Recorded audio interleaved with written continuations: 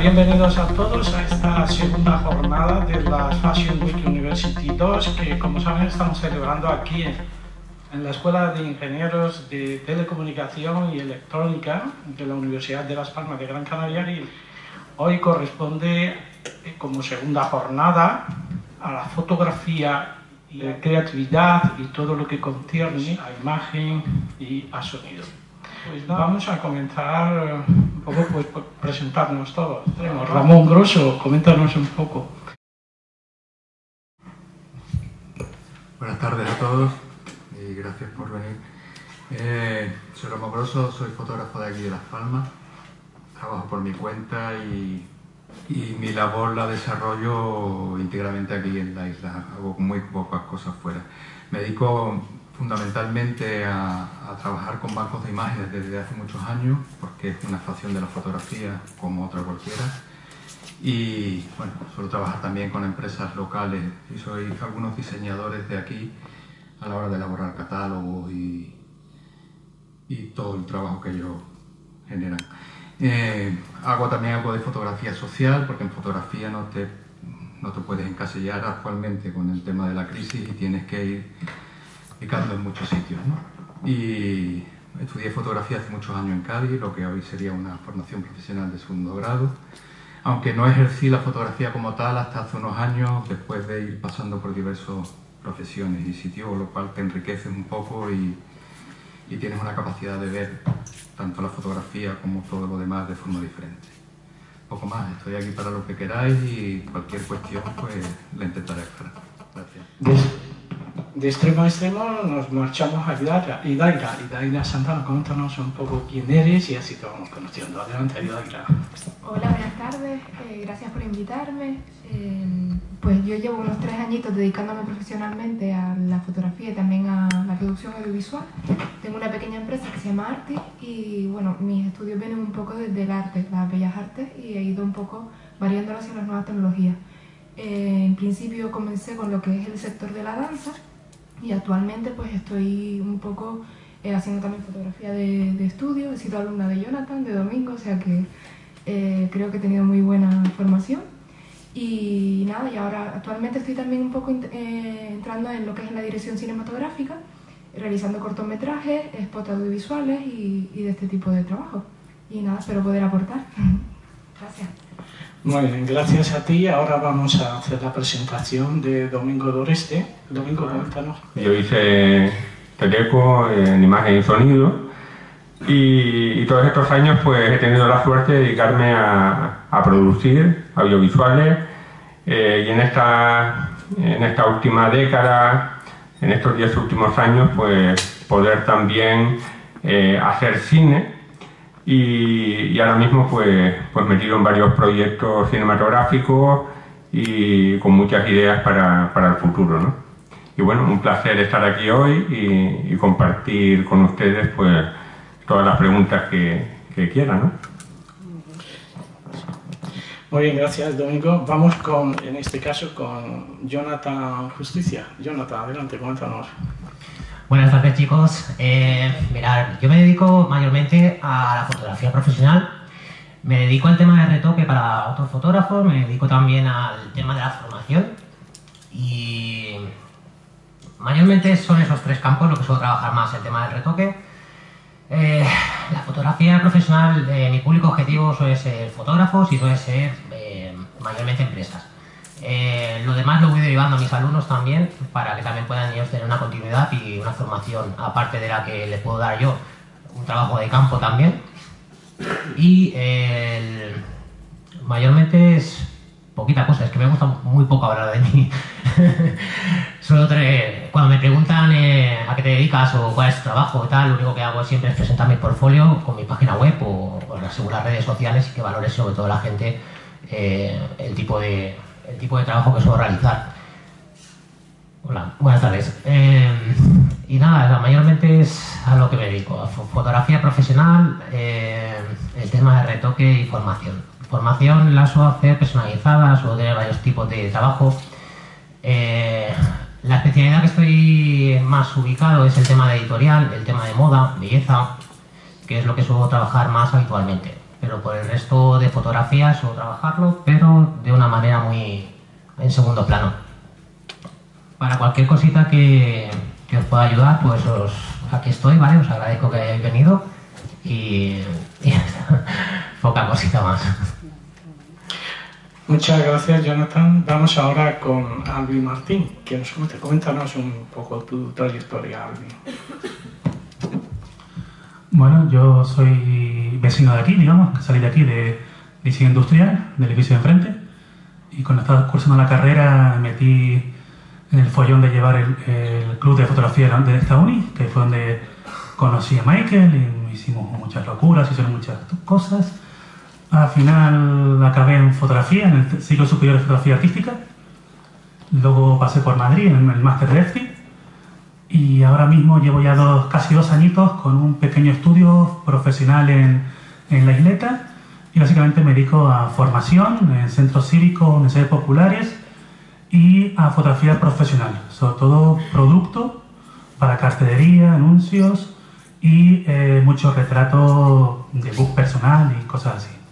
También me pica mucho lo visual y he hecho pequeños anuncios, mm. dirección de fotografía y sobre todo cositas para internet, que no requiere mucho. Buenas tardes. Buenas tardes. Eh, gracias por invitarme, la verdad que es un placer estar aquí con ustedes. Y bueno, antes de presentarme me gustaría que esto fuera un debate donde nos contáramos las experiencias y todas las preguntas que, que quieran hacernos. Yo creo que mis compañeros y yo estaremos dispuestos y encantados de responderle. Bueno, me presento, mi nombre es Laura Santana y me dedico a gestionar el contenido en Internet. Seguramente habrán escuchado la figura del social media, el community manager, demás. Bueno, ese contenido es fundamentalmente visual, es decir, donde la fotografía juega un papel muy importante, donde una imagen vale más que mil palabras. Entonces, en esa parte de mi trabajo, la fotografía tiene un papel relevante y entonces un poquito explicarles cómo monetizar ese, ese recurso que ustedes tienen, que es la fotografía, con la figura del fotógrafo online. Y por aquí Jonathan ha comentado lo del portafolio, que es muy importante, entre otros accesorios, para meterse un poco eh, en este mundillo. pues muchas gracias y ahora damos paso a es el que nos falta. ¿Qué tal? Buenas tardes. Agradecerles a todos que una tarde tan inclemente estén aquí. La verdad que les gusta. Eso demuestra que les gusta mucho. Pues nada, yo llevo ya unos 40 años de fotógrafo. No saquen cuentas. No voy a decir cuándo nací. Eh, he pasado por todas las ramas de la fotografía, desde trabajar en agencias eh, como corresponsal hasta tener mi propio estudio. Actualmente me dedico al, marketing dedicado especialmente a la imagen, a la fotografía, eh, con un estudio que lamentablemente hace unos años tuvimos que mudar por razones económicas que todos conocemos a, Suiza, donde se está un poquito mejor, pero de todos modos siempre trabajando aquí, viviendo en Canarias, que bueno, es un lugar estupendo para vivir y para hacer fotografía también. Eh, pues bueno, mm, hay muchas cosas para hablar. Creo que es muy importante que se siga realizando esta labor que hace Miquel.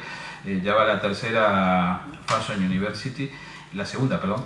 Eh, y bueno, esto habla mucho de que a la gente le interesa, ustedes están por eso aquí. Y nada más, yo aquí lo... Sí, sí, Miquel, dime.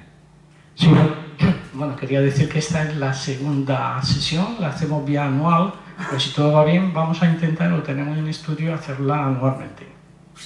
Ok. Eh, y yo creo que para no aburrirlos más, vamos a empezar el primer tema que tenemos aquí para tratar. Eh, vamos a hacerlo brevemente para que ustedes puedan preguntar. Es la actualidad en la fotografía de moda. ¿no? Aquí tenemos fotógrafos que pueden hablar un montón del tema, eh, acerca de la actualidad aquí, la actualidad, si quieren les puedo hablar luego de la actualidad en el resto del mundo. He estado trabajando en Italia y otros sitios. Y pues nada, el que quiera tomar la palabra, me parece en este caso Jonathan, que le gusta mucho la fotografía y es un formador, le gusta hablar. Entonces, Jonathan, eh, te, cedemos, la palabra, no te preocupes, yo te lo arreglo. Venga.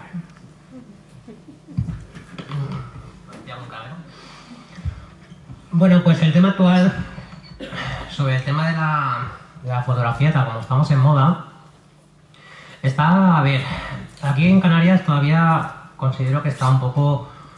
Mm, está un poco eh, en los inicios, digamos. A nivel, por ejemplo, como podría ser eh, más Barcelona-Madrid. Yo vengo de Barcelona, llevo aquí tres años en la isla y ahora, por ejemplo, voy a marchar otra vez a Barcelona a continuar mi carrera allí por el, para poder un poco avanzar en el tema de la moda. Se mueve muy bien aquí en Canarias por el tema de todos los artistas que hay, eh, diseñadores y, y gente fuera, fotógrafos. Gente buena en la fotografía y en su trabajo, ¿no? Fuera de lo clásico. Te lo está haciendo a propósito, ¿eh? Miguel troleando. No, no, me ha hecho un favor, así me comió ya el caramelo, gracias. Dijo, me dijo antes, me dice, voy de cachondeo, que te lo voy a hacer a propósito. Bueno, bueno, la fotografía aquí la, el- a nivel de la de lo que estaba comentando, a nivel de moda, está eh, un poco casillado también, eh, en cierta manera. Eh, falta todavía un poquito de, de empuje, pero sí que tiene un buen nivel. Eh, hay muy buena gente trabajando en estos momentos en, la- en las islas, no solamente aquí en Gran Canaria, también en Tenerife. Y... em, un momentito, se me ha ido el iPhone. Mira, Yo creo que, yo pregunto, creo que te está muy pregunto. bien. Lo Eh, importante, Omar, sí, es que vayamos entendiendo todo lo de la Sí, sí, mesa. sí, por eso, por eso. Mira, te pregunto, mm, ¿cómo ves, eh, cómo ves a la gente? Tú formas gente. Sí, yo formo, ¿Cómo sí. llegan a ti la gente con muy poca formación? Ya vienen con bastante conocimiento. eh, eso es interesante para saber. A ver, punto de vista... normalmente la media de los alumnos que tengo cuento ya con más de 800 aquí en la isla en estos tres años. Y la verdad es que he tenido de todo, desde niños jovencitos con 14 años hasta personas de 80 años, sin exagerar. Y ha habido un poco de todo. Los niveles normalmente suelen ser eh, de media baja, ¿vale? Una, o de media, sea, bajo medio. Eso suele ser el nivel de alumnos que me suelen venir a mí.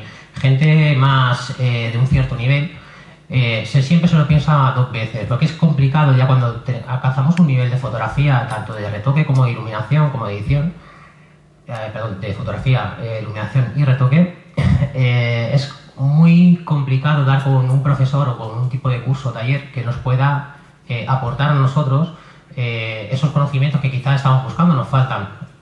Eh, entonces, para personas que, por ejemplo, vienen de bajo nivel o con un nivel ya más intermedio, pues es lo que me suelo encontrar más aquí en la isla. Eh, ¿Cómo vienen hacia mí? Pues eh, yo antes estaba en, la escuela de, aquí en Las Palmas, estaba en una escuela de, fotografía, a través de ello vinieron muchos alumnos, que de hecho por ahí tengo, tengo un par de ellos. Y suelen venir a través de las redes sociales, pueden venir a través de, del boca a boca, de que te conocen. Eh, es un poco. Yo me suelo mover mucho sobre todo el tema de redes sociales, pero también sobre todo conocidos eh, centros concertados que yo voy haciendo. Voy- no solamente me muevo aquí en, en Gran Canaria, también me muevo en Barcelona bastante. Ahora este año voy a empezar también a ir a diferentes puntos de España. Y eso es en parte eh, la formación a nivel de a nivel de cómo vienen para aquí. Eh, la media de los, los alumnos que suelo tener yo es eso, es baja media y sí que de vez en cuando va viniendo también gente que está trabajando para editoriales de, de moda, gente importante y tal, pero siempre suelen venir, eh, como digo yo, a lo bajín. ¿sabes? O sea, sin que se entere mucho la gente, suele venir un poco para preguntar, pues aprender cuatro o cinco técnicas que pueden ver sobre mi trabajo o que pueden interesar más y no, se explica las técnicas y, y continúan ellos, lo, lo asimilan ellos a su, a su flujo de trabajo luego continúan. ¿Existe todavía eso de no quiero decir que no sé? Sí, sí, sí. sí, sí. Está, está todo eso. Mira, yo soy una persona que normalmente, ya te lo puedo decir que es alumna mía, y soy una persona que suelo explicar absolutamente todo lo que yo sé, ¿vale? Porque no, no soy una persona que va explicando ciertas ciertos, eh, ediciones, a ciertos pasos de edición y llega un punto que dice, no, el secreto, el secreto me lo guardo. No, yo lo suelo explicar todo. Aquí las herramientas de Photoshop y de otras herramientas, como puedo contar, como Aero o otros programas, eh, siempre nos, Las herramientas son las mismas. Vamos a trabajar, eh, aquí en la mesa podemos trabajar para llegar a un mismo resultado de 20.000 maneras diferentes, utilizando la, la misma ma- herramientas o diferentes que hacen el mismo efecto. Pero aprender ese tipo de...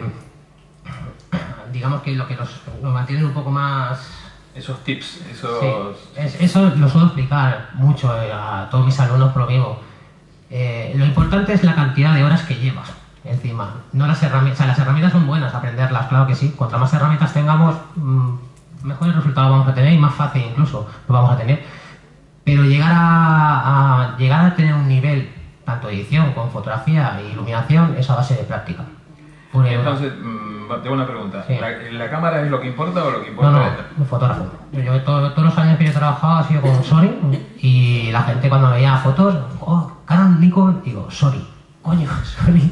En serio, sí, Sony, es que no, no pasa nada. O sea, hoy en día puedo hacer, con cualquier dispositivo puedo hacer una buena foto. Eh, lo que valoro yo como buena foto, o sea, una buena foto a nivel técnico, mm, de iluminación, composición y de retoque y tal eh, con, el propio dispositivo del móvil puedo sacar buenas fotos. ¿Por qué? Porque entiendo la iluminación, entiendo lo que es el retoque, entiendo más o menos lo que son los, los factores que componen la fotografía general. Podemos decir que, aunque ahora han proliferado los, dispositivos mm, móviles mm. que tienen unas buenas cámaras, con una buena resolución y tal, editables sin ningún tipo de problema, hay mayor cantidad de fotógrafos. Muchísima. O sea, hay un auge... Es bueno para... Es, sí, es bueno y es malo. Porque realmente es bueno y es malo. Eh, que haya tantos fotógrafos también eh, es como oferta y demanda, ¿no? Como siempre, ¿no? Pero el que haya tantos fotógrafos a los que nos dedicamos a ello 100%, pues mm, se nos complica un poco más el tema también. Pero prevalece el talento. Prevalece el talento. Porque por más que tengas una Hasselblad y si no... Correcto. Yo tengo muchos alumnos que tienen mejor equipo que yo, pero indiscutiblemente.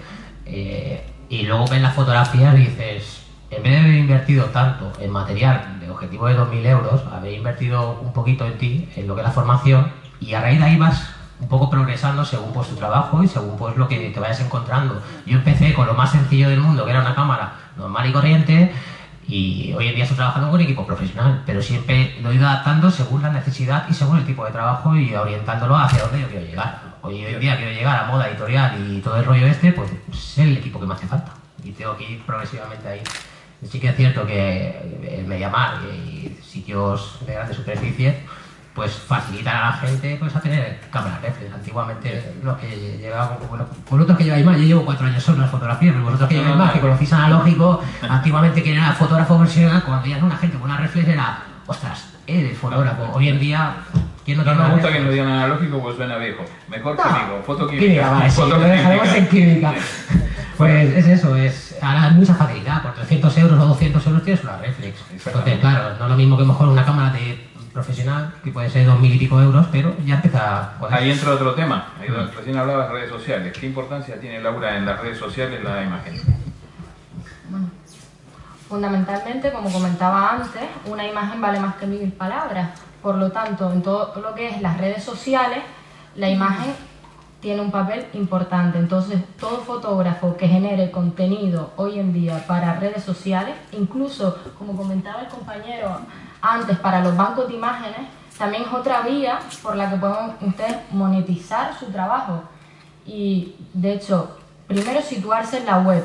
Como comentaba el compañero Jonathan, el portafolio es muy importante. Entonces, una vez que te sitúas en la web, tener tu propio portafolio y tener tu página web. Y una vez que tienes tu página web, eso vincularlo a las redes sociales. Y en la importancia de las redes sociales, lo que tienes que va a ser, de ahí viene lo social, ¿no? Es como tu forma de comentarle al mundo de aquí estoy. Porque lo que no se ve, no se vende.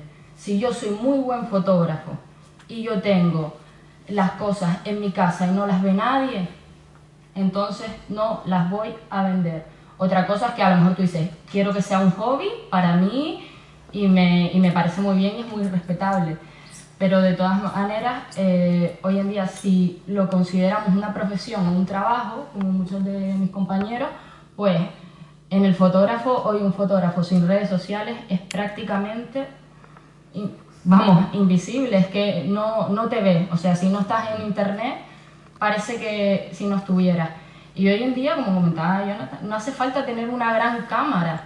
Eso es una parte, por ejemplo, la fotografía es una parte de, mi trabajo y no hace falta una gran cámara. De hecho, la foto de moda no solo se divide en la foto de moda de la modelo, irnos a hacer una editorial y demás, sino hoy en día se está demandando mucho en las tiendas online para empresas, se demanda mucho la foto de moda, lo que se conoce, bueno, ellos lo conocen supongo como la foto de bodegón de toda la vida, de los catálogos. Y se demanda mucho el fotógrafo para fotos de bodegón. Y para eso no hace falta grandes cámaras ni irte a comprar una cámara de 2.000, 3.000 euros. De hecho, cuando, y les hablo desde mi experiencia y luego ustedes me, me contarán su experiencia. Y yo pensaba, voy a cobrar 200 euros y la mesa cuesta 400 euros. Digo, ¿qué hago? Yo, vamos, eh, empezando encima la carrera y demás, decía, no puedo. ¿Y qué ocurre? Que llegan los recursos del fotógrafo y yo muchas veces se lo comento a la, a la gente que está empezando, búsquense recursos low cost y de, de pagar eh, 400 euros por una mesa, bueno, hoy en día ya me la he comprado, ¿no? Cuando uno va ya profesional ya me la he comprado, tampoco hay que ir por la rama cutre, ¿no? Pero sí es verdad que cuando uno está empezando te puedes montar una mesa de bodegón. Pero esto viene enlazado un poco con lo que decía Jonathan. Claro. Eh, le has puesto más énfasis a, a perfeccionarte con la iluminación Claro. y con la técnica, ¿verdad? Te- eh, lo importante es la formación, o sea, la formación que tú tengas y luego eso, los recursos que tú tengas a mano, utilizar los recursos y las redes sociales es un recurso fundamental y por ejemplo, el recurso es que tú controles la luz y una vez que conozcas eso, la mesa de bodegón te la puedes montar con cartulinas blancas, folios y cinta adhesiva y de ahí empezar a trabajar. Por eso que no hace, cuando me preguntan, dice, ¿qué necesito para hacer fotografía online y demás? Digo, primero ganas y segundo mucha constancia, porque después los accesorios te los puedes buscar muy fácil. Sé qué ibas a hacer la pregunta. No, no, no. Te los puedes buscar muy, muy fácil.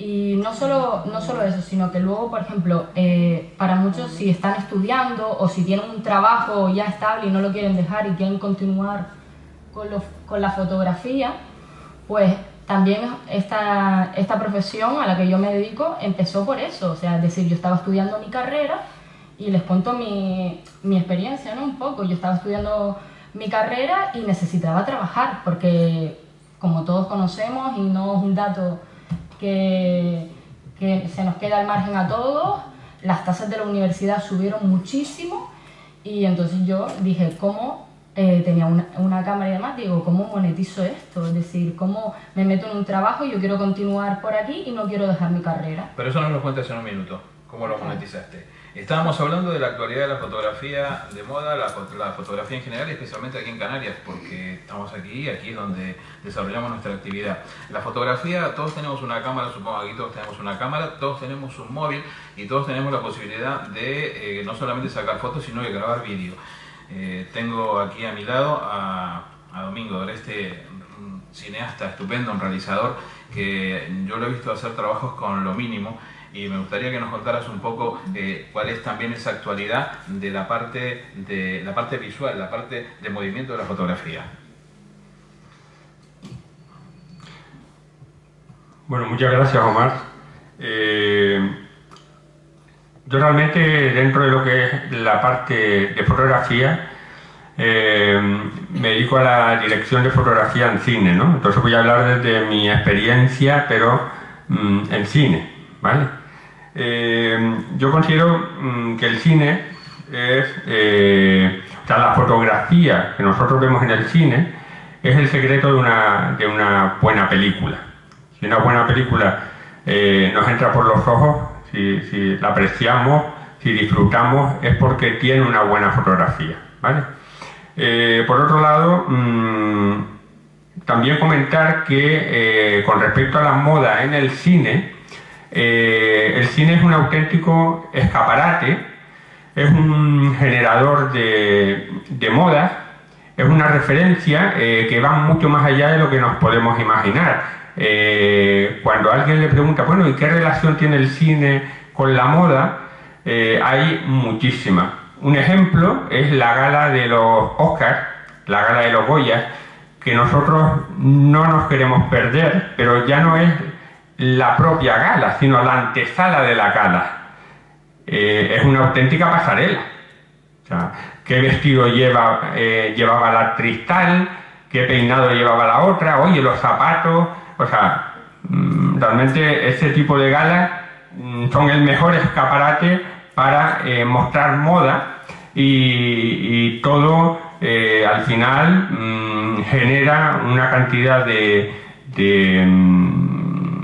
tendencias y, una variedad eh, de, lo que es estilo de vestuario, estética, o sea, al final es un escaparate, ¿vale? Entonces el cine se usa como escaparate para la moda.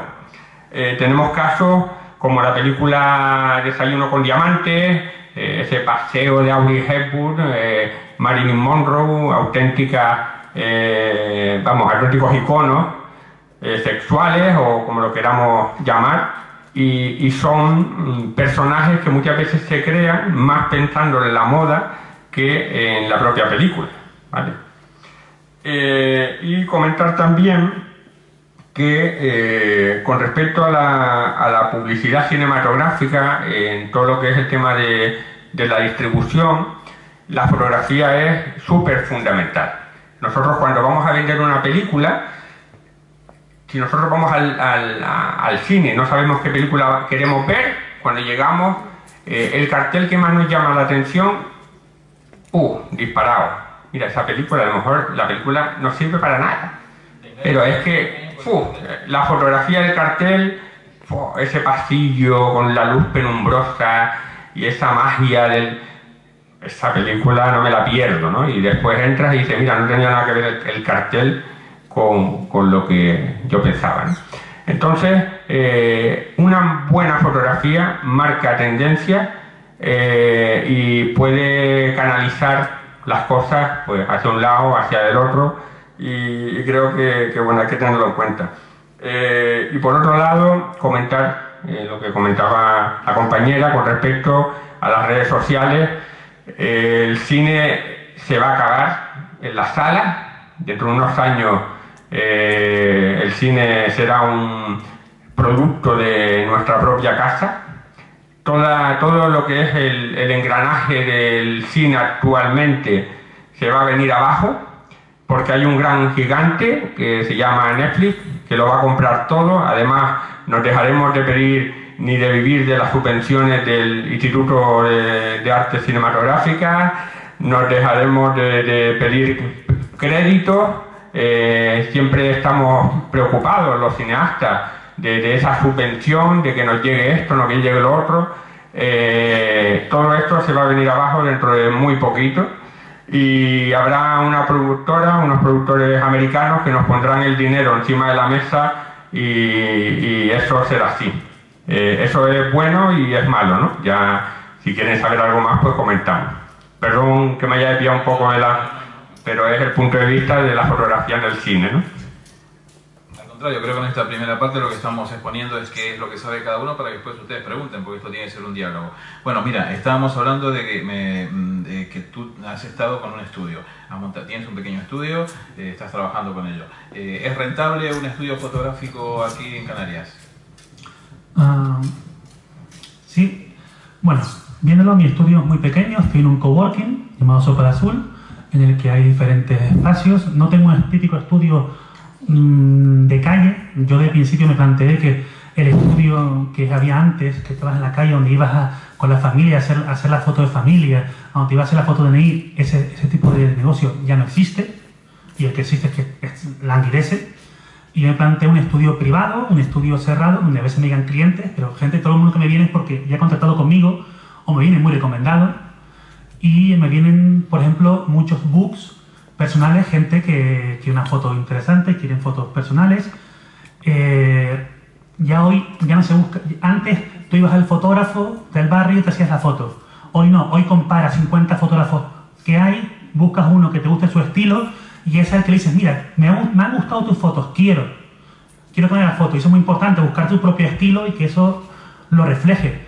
Y hoy en día sobre todo se piden fotos que antes no existían.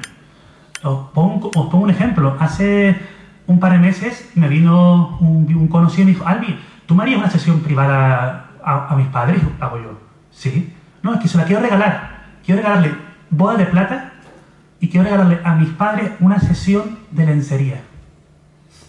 Y yo me quedé en plan de, no tengo ningún problema. Hizo la sesión y, os hablo de gente súper normal, nadie, no gente que está en el mundo de la moda, no, gente súper normal Y el hijo le regaló a los padres una sesión de lencería por las bodas de plata. Que eso así, así de años era totalmente imposible. Y es lo que puede pasar. Eh, otra cosa tener un, estudio pequeñito, por ejemplo, que me venga eh, eh, gente, que acaba, de cumplir 50 años y me diga, quiero una sesión en la que salgo guapo, salga guapa, lo que sea.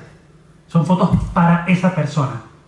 Porque hoy en día lo que también, sabemos que utilizado la técnica, hemos hecho el estudio. Hace 15 años que un estudio de fotografía era carísimo en material. Hoy en día, gracias digamos, a los culturas chinos o al abaratamiento de los equipos de flashes que, se ha abaratado, abaratamiento del equipo de iluminación, hoy en día te puedes montar un estudio con, con un montón de modificadores y demás, mucho aparato.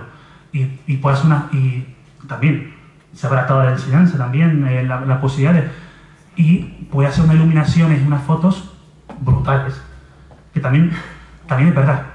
Y esto, esto que dejarlo claro, como dijo Jonathan, cada vez más fotógrafos. Que esto que nos obliga, esto es bueno y malo, pero es bueno en el sentido que nos obliga a mejorar. Nos obliga a los que estamos intentando vivir a esto, buscar nuestro estilo y mejorar cada, cada vez más, cada vez más. Yo, poquito a poquito lo voy consiguiendo. A mí la gente me dice, coño, Albi, vi esa foto y antes de dar el nombre sabía que era tuya porque más o menos yo he intentado buscar un, estilo de iluminación que me caracterice. Yo hablo de Facebook, cuando veo una foto ya sé que de, de JC porque lo veo, digo yo, esta es nueva de él, porque tiene un estilo súper característico, que es buenísimo, que tiene, me encanta mucho su estilo. Y eso, buscar tu propio estilo y, más, y sobre todo, eh, antes de gastar mucha, mucha pasta en publicidad, hoy no hace falta. Fuera sí, pero para el día, para boca a boca no. boca a, mí, casi todo el trabajo que me ahora mismo es por boca a boca me llega una empresa, una empresa policía, oye, que es una de las, yo hago mucho, casi todo lo que hago yo fotografía de estudio.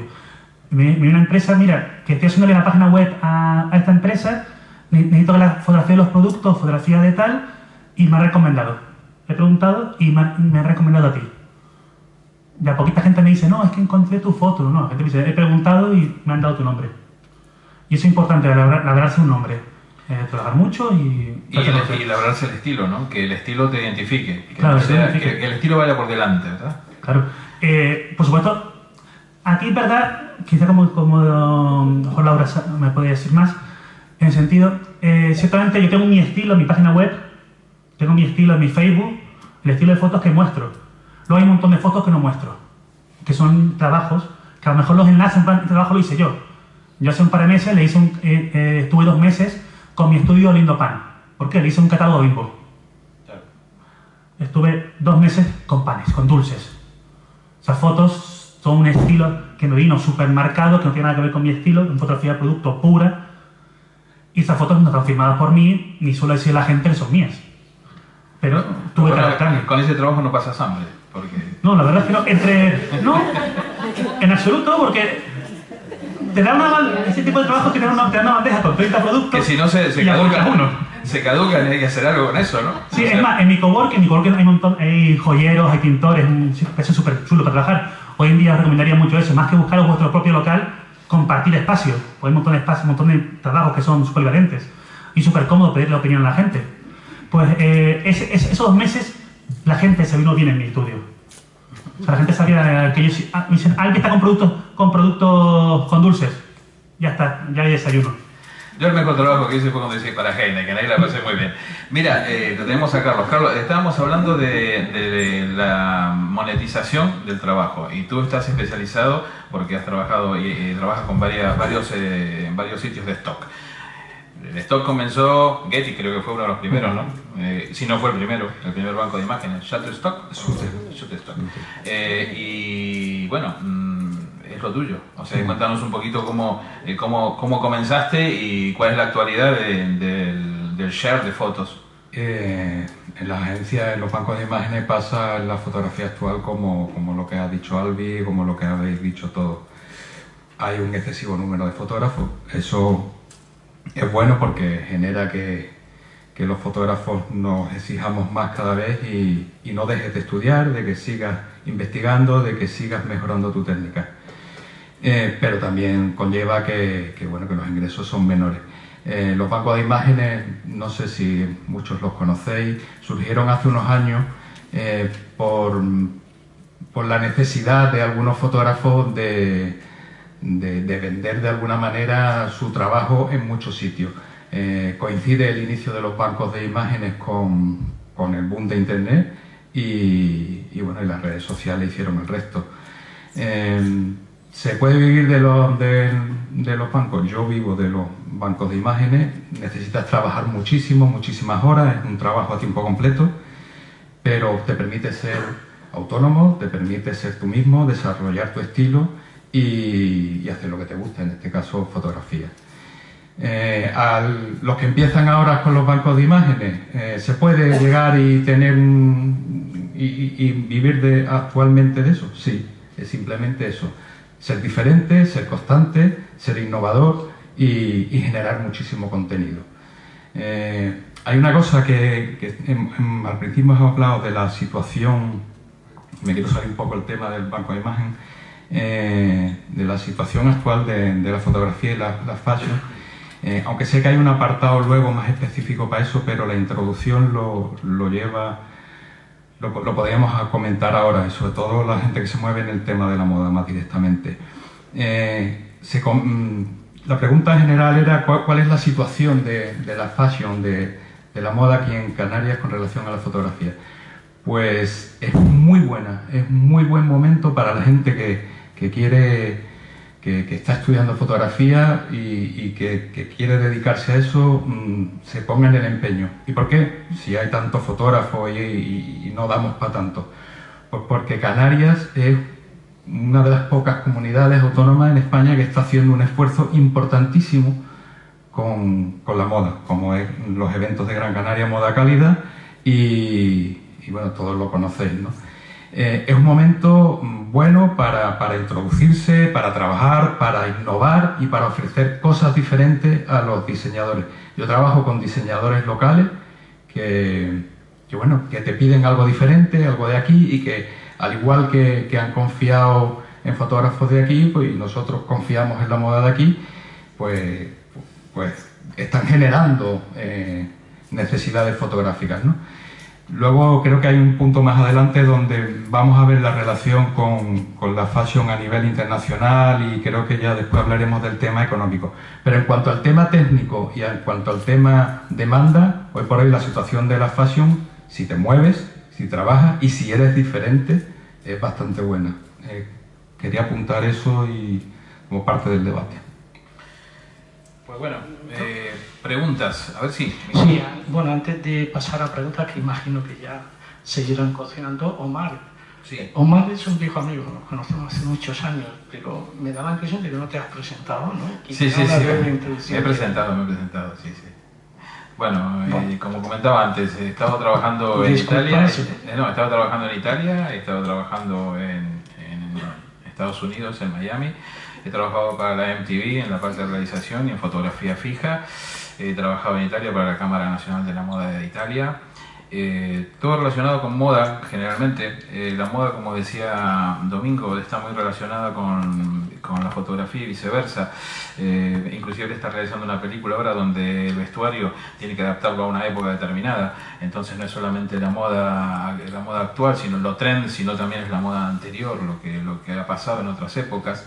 Y cuando se trabaja, por ejemplo, en imagen eh, con videoclips, bueno, la moda puede ser cualquier cosa porque ahí puede haber desde fantasías hasta, bueno, hasta, no sé, cosas muy, muy especiales y de diseñadores muy conocidos. Eh, el punto fundamental de todo esto es que la experiencia que uno va recogiendo la va acumulando y va sacando lo bueno y va quedándose con las cosas que realmente funcionan, que eso sí es importante, y aparte darse cuenta de los errores. Yo creo que una de las eh, eh, grandes ventajas que podemos tener los seres humanos si nos damos cuenta es si estamos cometiendo un error, dar marcha atrás enseguida y volverlo y corregirlo. ¿no? En fotografía pasa mucho, a veces insistimos con algo porque creemos que está bien, a pesar de que preguntamos, ¿te gusta? Mm, sí no está mal, bueno, no, no le está gustando, el colega está diciendo que sí, pues no te quiere decir, mira, tu foto es una porquería. Eh, cuando uno, uno tiene que ser crítico en eso, tiene que ver lo que ha hecho y decir, sinceramente, ¿qué es esto? Y bueno, esto es un poco más de lo mismo, lo estoy viendo también en internet en nuestros sitios, he sacado, lo he hecho porque tengo una técnica de, de que vi en un tutorial de YouTube y eso ya está visto.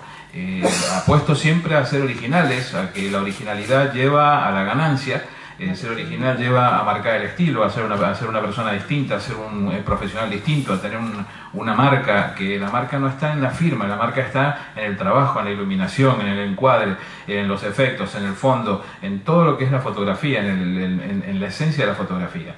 Eh, mm, recién uno de los temas que, que- que siguen aquí es la creatividad y la innovación y la idea del proceso creativo.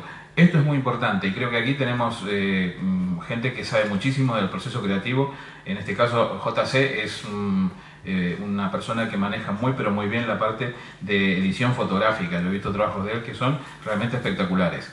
¿Cómo, cómo se inicia un trabajo creativo? Pues se inicia desde, la- desde el principio, desde, desde lo que es la idea, realmente. O sea, la edición es lo. Considero que últimamente ya es lo último que estoy haciendo.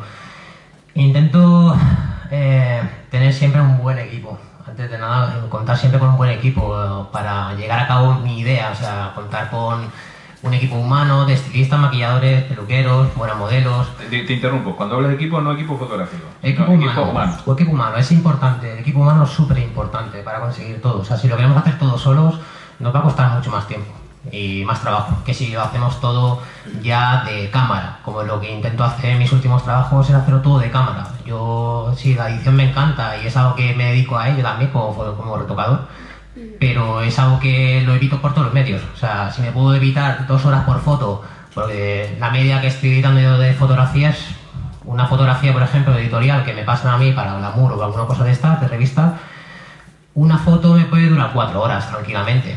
Una, pero estamos hablando de un nivel de editorial de moda. Entonces, claro, si me puedo ahorrar las cuatro horas, me las puedo hacer mm, desde cámara, que salga la fotografía con la idea de la iluminación, los, los encuadres de, de- luz.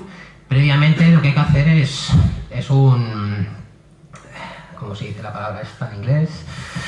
Eh, bueno, es hacer una mesa de trabajo realmente para coger, eh, exponer todas las ideas allí, ¿vale? Eh, qué tipo de sesión, dónde quieres, cómo quieres orientarla, qué tipo de modelo te hace falta, qué tipo de equipo te hace falta, a nivel técnico y a nivel humano, ¿vale? A nivel técnico, pues eh, tienes que contar, pues si es para una editorial, pues normalmente tienes que contar con un equipo más o menos decente para... Ya es simple por el, el simple hecho de que ya te obligan ellos a tener a entregar un resultado muy, muy bueno. El otro día, por ejemplo, anoche eh, un amigo mío, el fotógrafo de Barcelona, me, me mandó un mensaje y dijo, oye tío, tengo que publicar para, para Dark Beauty, que es un magazine de, de belleza oscura y tal, así de internet, bastante bueno. Y dice, pero es que me están tirando atrás la foto porque quieren que se vea foto diferente. Claro, digo, pásamela, Miguel, digo, me lo pasas un momentito, lo miramos y tal. ¿Por qué? Porque la propia revista ya está marcando un, un nivel, ¿vale? En este caso, eh, yo se la reedité un poco, le pasé cómo tenía que hacerlo y ya, ya he podido publicarla. En- retomando el tema otra vez, es bueno tener siempre unas ideas claras en cuanto a la realización.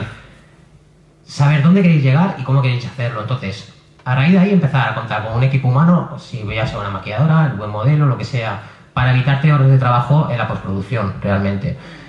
Cuando ya consigues una escenografía, o sea, recrear un escenario, o sea, a mí me encanta la fotomanipulación, pero es algo que lo estoy evitando por todos los medios, porque si puedo evitarme cuatro horas de postproducción, pues genero un, un escenario o busco una buena localización o busco un interior guapo, en estudio, lo que sea.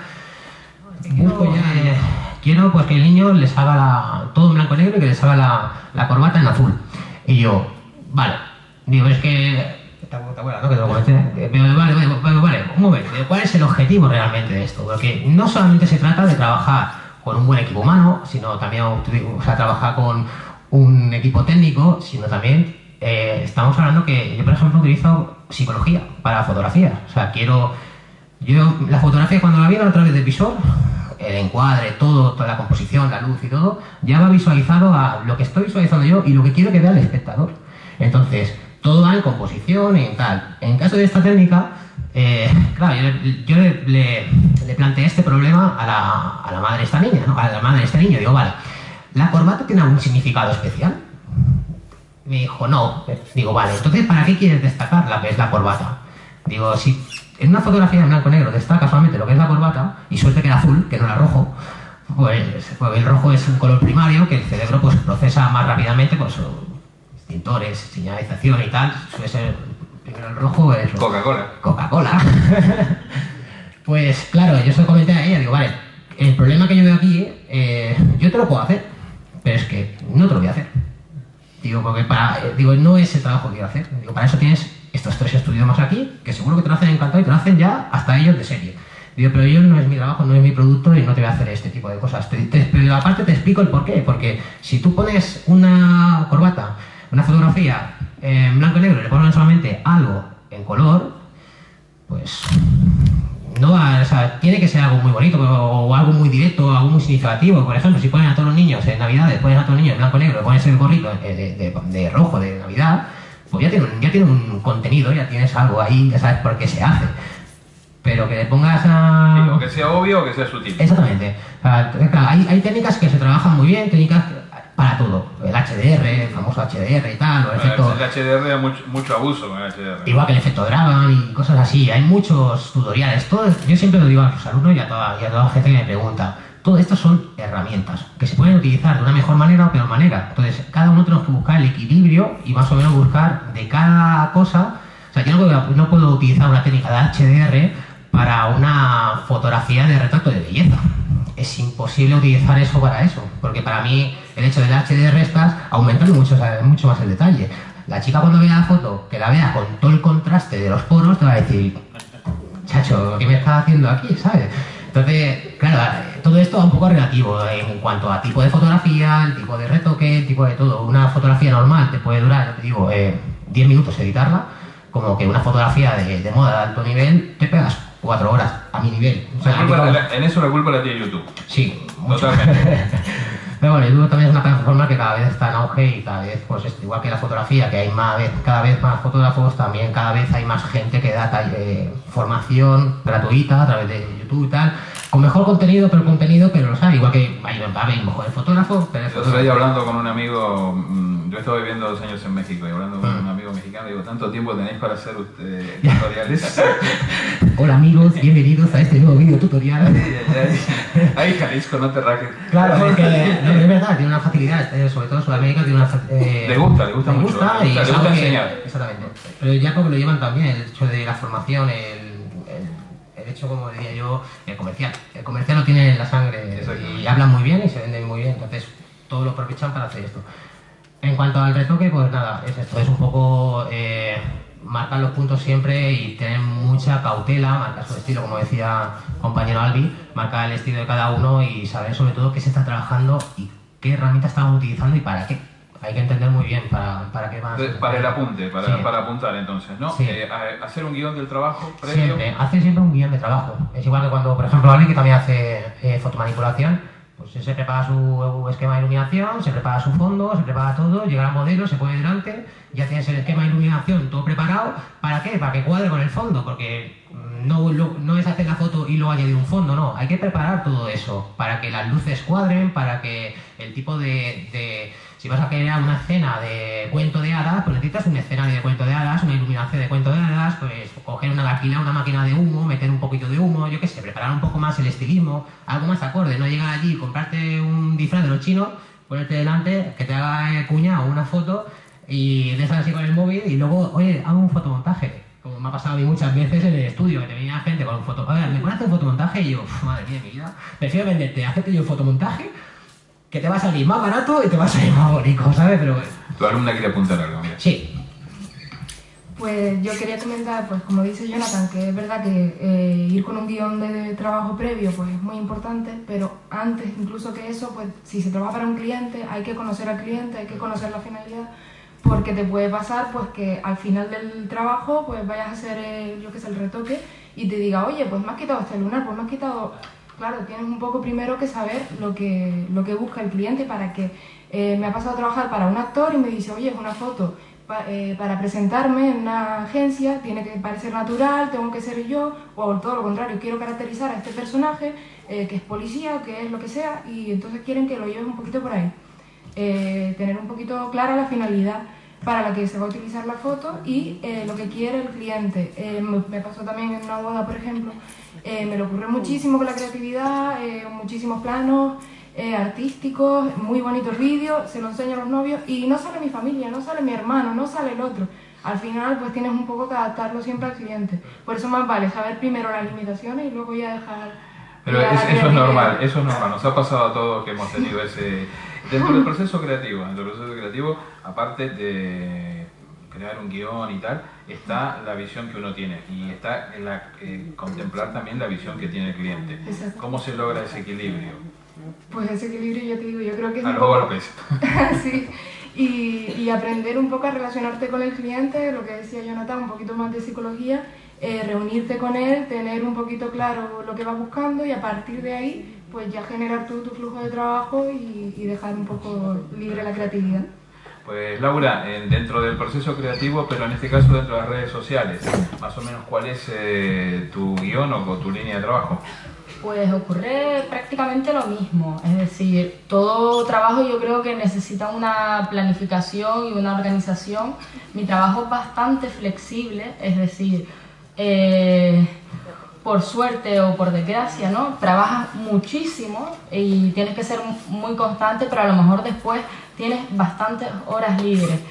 Y lo que decían de, de los clientes, pues sí, ocurre eso, es decir, tú trabajas para una marca y primero tienes que conocer a la marca y tienes que mantener un diálogo con el cliente y yo creo que eso es una base de todo tipo de, de trabajo. Después hablaban de una cosa muy importante que es el retoque y normalmente te piden una serie de retoques, pues mira, quiero, eh, en mi trabajo no se da lo de la corbata azul, pero sí se da, por ejemplo, que tienes que presentar eh, una serie de complementos para una página web y a lo mejor necesitan que el vestido no tenga ninguna arruga. Pues entonces eso es un proceso y un diálogo con el cliente que tú tienes que mantener. Eh, claro, con el retoque se da una, una historia, vamos a decir así, que si te vas a dedicar a la fotografía, hoy en día fotografía, vídeo y diseño gráfico no están separados. Es decir, ahora se trabaja todo junto. Entonces, uno requiere una formación de ese tipo de cosas y, por ejemplo, hoy en día las cámaras ya tienen incorporado el vídeo y a lo mejor no hacerte un experto en vídeo, pero sí poder grabar una toma de 30 segundos. Por ejemplo, en el tema de Internet eh, se requiere fundamentalmente los vídeos cortos para las redes sociales. Un vídeo que no, que no capta la atención de una persona en 5 segundos ya para mucha gente es un vídeo que no sirve. ¿Por qué? Porque somos multitarea y enseguida pasamos a otra cosa. Entonces, en publicidad eso es fundamental, captar la atención de, la persona. Después tocaron eh, otro tema que también lo decían por ahí, que es fundamental el coworking hoy en día. Es decir, si tú, sea en fotografía o en el trabajo que sea, estás empezando, el coworking te ayuda mucho. Es decir, juntarte con varios amigos o a lo mejor no, no están realizando la misma función que tú, pero por ejemplo un, un, fotógrafo, tú no tienes mucha idea de diseño y resulta que si tienes de fotografía, pues mira, me junto con un amigo que conoce más de diseño gráfico, montamos una empresa y emprendemos algo, emprendemos un proyecto y de ahí puedes salir algo bastante bueno. Porque al juntarte con un equipo de, de personas siempre está, no sé si te referías al famoso brainstorming, que la lluvia de ideas y demás. Ok, pues, y claro, sale un montón de, de ideas que te pueden llevar a, a, muy buen puerto. Y sinceramente es eso, que no están, hoy en día las disciplinas no están para nada separadas y hay un apartado de, de estas conferencias también que es el contenido audiovisual. Entonces, ¿qué ocurre? Que conociendo el diseño, eh, también teniendo un poco de noción de vídeo y de fotos, ya generas contenido audiovisual. Por ejemplo, Domingo, tú en, tu trabajo como realizador y ahora que estás embarcado en un proyecto muy interesante, muy bonito y que lo veremos dentro de poco, eh, mm, obviamente no está separada la fotografía fija del, dibujo y del diseño y de la parte de imagen de fílmica. Sí, todo tiene que llevar, como han dicho los compañeros, tiene que llevar un corporativismo, ¿no? Eh, eh, todo tiene que ir unido, no puede ir una, la fotografía por un lado, el vídeo por otro, todo tiene que estar en, consonancia y en mi caso pues también el sonido, ¿no? No solamente la imagen, sino el sonido. Cuando vamos a ver una película que para mí pues es una sucesión de fotografías, ¿no? Al fin y al cabo, eh, si el audio es estupendo y, el vídeo no vale para nada, pues mm, estamos incómodos. Si es al contrario, pues lo mismo, ¿no? Tiene que tener todo una simbiosis y desde el punto de vista de, la luz, sobre todo, ¿no? Eh, tiene que, estar todo muy, unificado, ¿no? Con respecto a la pregunta, que es innovación, eh, creatividad, idea, eh, simplemente apuntar una serie de cosas mm, para reforzar cosas que se han dicho. ¿no? Desde mi punto de vista, la idea es lo que asegura el 100% del éxito del producto final. cuando nosotros tenemos una buena idea, tenemos que saber también llevarla a el receptor. Y eh, ahí hay que tener una, una cosa muy clara, y es que mm, tenemos que saber a quién vamos a dirigir la fotografía, a quién vamos a dirigir el, proyecto cinematográfico, eso es tanto para fotos como para vídeos. Cuando se hace una fotografía, eh, por ejemplo, sin nombrar ninguna marca eh, de yogures, Mm, se utiliza pues para una marca concreta eh, los fondos verdes. Ya solamente con ver un fondo verde ya sabemos de qué marca se trata, ¿no? Podemos hacer una prueba. Cuando vemos tonalidades verdes, ¿de qué yogur estamos hablando? Activia. Cuando eh, hacemos un spot y utilizamos los colores azules, celestes, ¿de qué? no. Entonces, todo, todo eso tiene una fuerza brutal. O sea, estamos asociando el color celeste con Danone. ¿Y por qué? O sea, es tremendo. Eh, cuando vemos una manzana mordida, ¿de qué estamos hablando? De Apple. Yo estaba pensando en Adán y Eva. Pero eh, esa es la fuerza de la fotografía. El conseguir que la gente relacione un elemento con nuestro producto. ¿Vale? En el cine pues pasa lo mismo. Eh, además, cuando nosotros utilizamos un tipo de luz, un tipo de textura, la asimilamos con un tipo de película. El género de Hitchcock, los amantes del cine, vamos, yo veo una, una película y digo, esto es Hitchcock. Total, eso, eso es negro, esos grises, ¿no?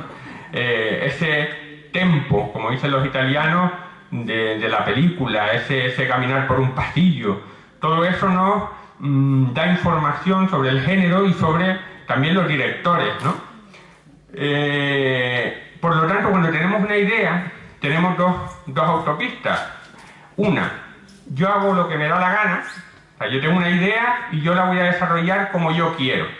Que muchas veces, si no nos dedicamos a esto comercialmente, es, es un camino no lo quiero para ganar dinero y, hago lo que me da la gana.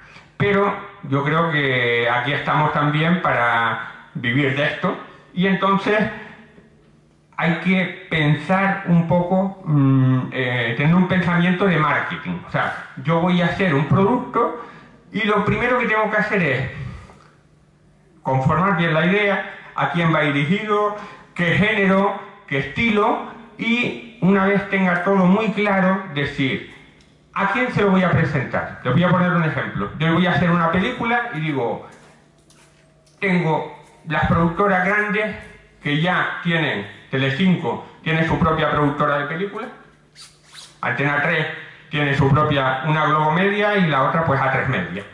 Digo, bueno, yo la película la quiero enfocar para A3 Media. Es un canal un poco menos sensacionalista, le gusta la serie, o la quiero para Telecinco, que es más sensacionalista, y por ejemplo, a mí lo que me gusta es Bambi, me encanta el género de, Disney. Digo, bueno, quiero hacer Bambi, vale, pero ¿para quién es? Para Telecinco. Pues a Telecinco, cuando yo voy a hablar con el productor, le tengo que, vamos, que dar un título que, va, vamos, a, decir que sí seguro, ¿no? Entonces yo voy y le digo, tengo un proyectazo tremendo, ah, mm, Bambi. Dice, pero Bambi, dice, sí, pero es mm, eh, Bambi caníbal. O, o, la Cenicienta, dice, la Cenicienta sangrienta. ¿Vale? O sea, el que lo oye, que tú ya lo has estudiado previamente, porque hay que ver a quién va dirigido el proyecto. ¿Quién me va a recibir? No, Pepito Pérez. ¿Y qué le gusta a Pepito Pérez? O sea, hay que llegar a saber todo lo que le gusta al cliente. O sea, es un trabajo de investigación brutal. No es, yo voy a presentarle un trabajo a Omar y yo me estudio quién es Omar, qué hace Omar, qué le gusta a Omar, qué, qué, qué... porque cuando vaya, eh, Omar me va a decir, yo, Bambi Caníbal. Estupendo, esa, esa es la línea que seguimos en nuestra productora. Y yo, ¿eh? O Bambi Zombie, ¿no? Entonces, con eso lo que quiero decir es que no se trata de tener una buena idea, se trata de hacerla llegar al que queremos. Haremos lo que nos dé la gana, que es Bambi, pero hay que adornarlo como es, ¿vale? Y por último, mmm, comentar que hay que tener en cuenta que las ideas influyen mucho en los costes. Yo puedo hacer una secuencia en cine o hacer una muy buena fotografía y cometer muchos errores a la hora de presupuestar. Yo para hacer un recorrido de aquí a allá mmm, puedo ir caminando, puedo ir volando eh, o puedo ir mmm, saltando y esto tiene un coste. No es lo mismo ir volando porque genera un desarrollo de, de lo que es el vuelo que me encarece mucho el plano y entonces tengo que, que ajustarme a un presupuesto. ¿Vale? Hay que soñar, pero en la tierra. ¿Vale? Eh, tener en cuenta eso, el receptor, a quién vamos a dirigir el producto y la mejor manera de hacerlo según el presupuesto que tenemos. Un ejemplo solo. ¿Quién se acuerda del anuncio de Coca-Cola de hace dos años? ¿Quién se acuerda de los anuncios de Pepe, el de Ikea, de hace 25 años? ¿Se acuerdan de Pepe, el de Ikea? Pues yo tuve la suerte de montar los trabajos estos y de grabar y, Pepe Ikea era la idea más sencilla que te puedes echar la cara. Un spot de 20 segundos de coste por spot 200 euros. El spot de Color News 20 segundos, una millonada. Entonces, ¿se pueden hacer cosas buenas? Perfectamente, porque tenemos una buena idea. ¿Vale? Nada más. Pues bueno, mira, Ari, seguimos con el tema de, de, la, de la creatividad. En este caso vamos con la parte de los freelance.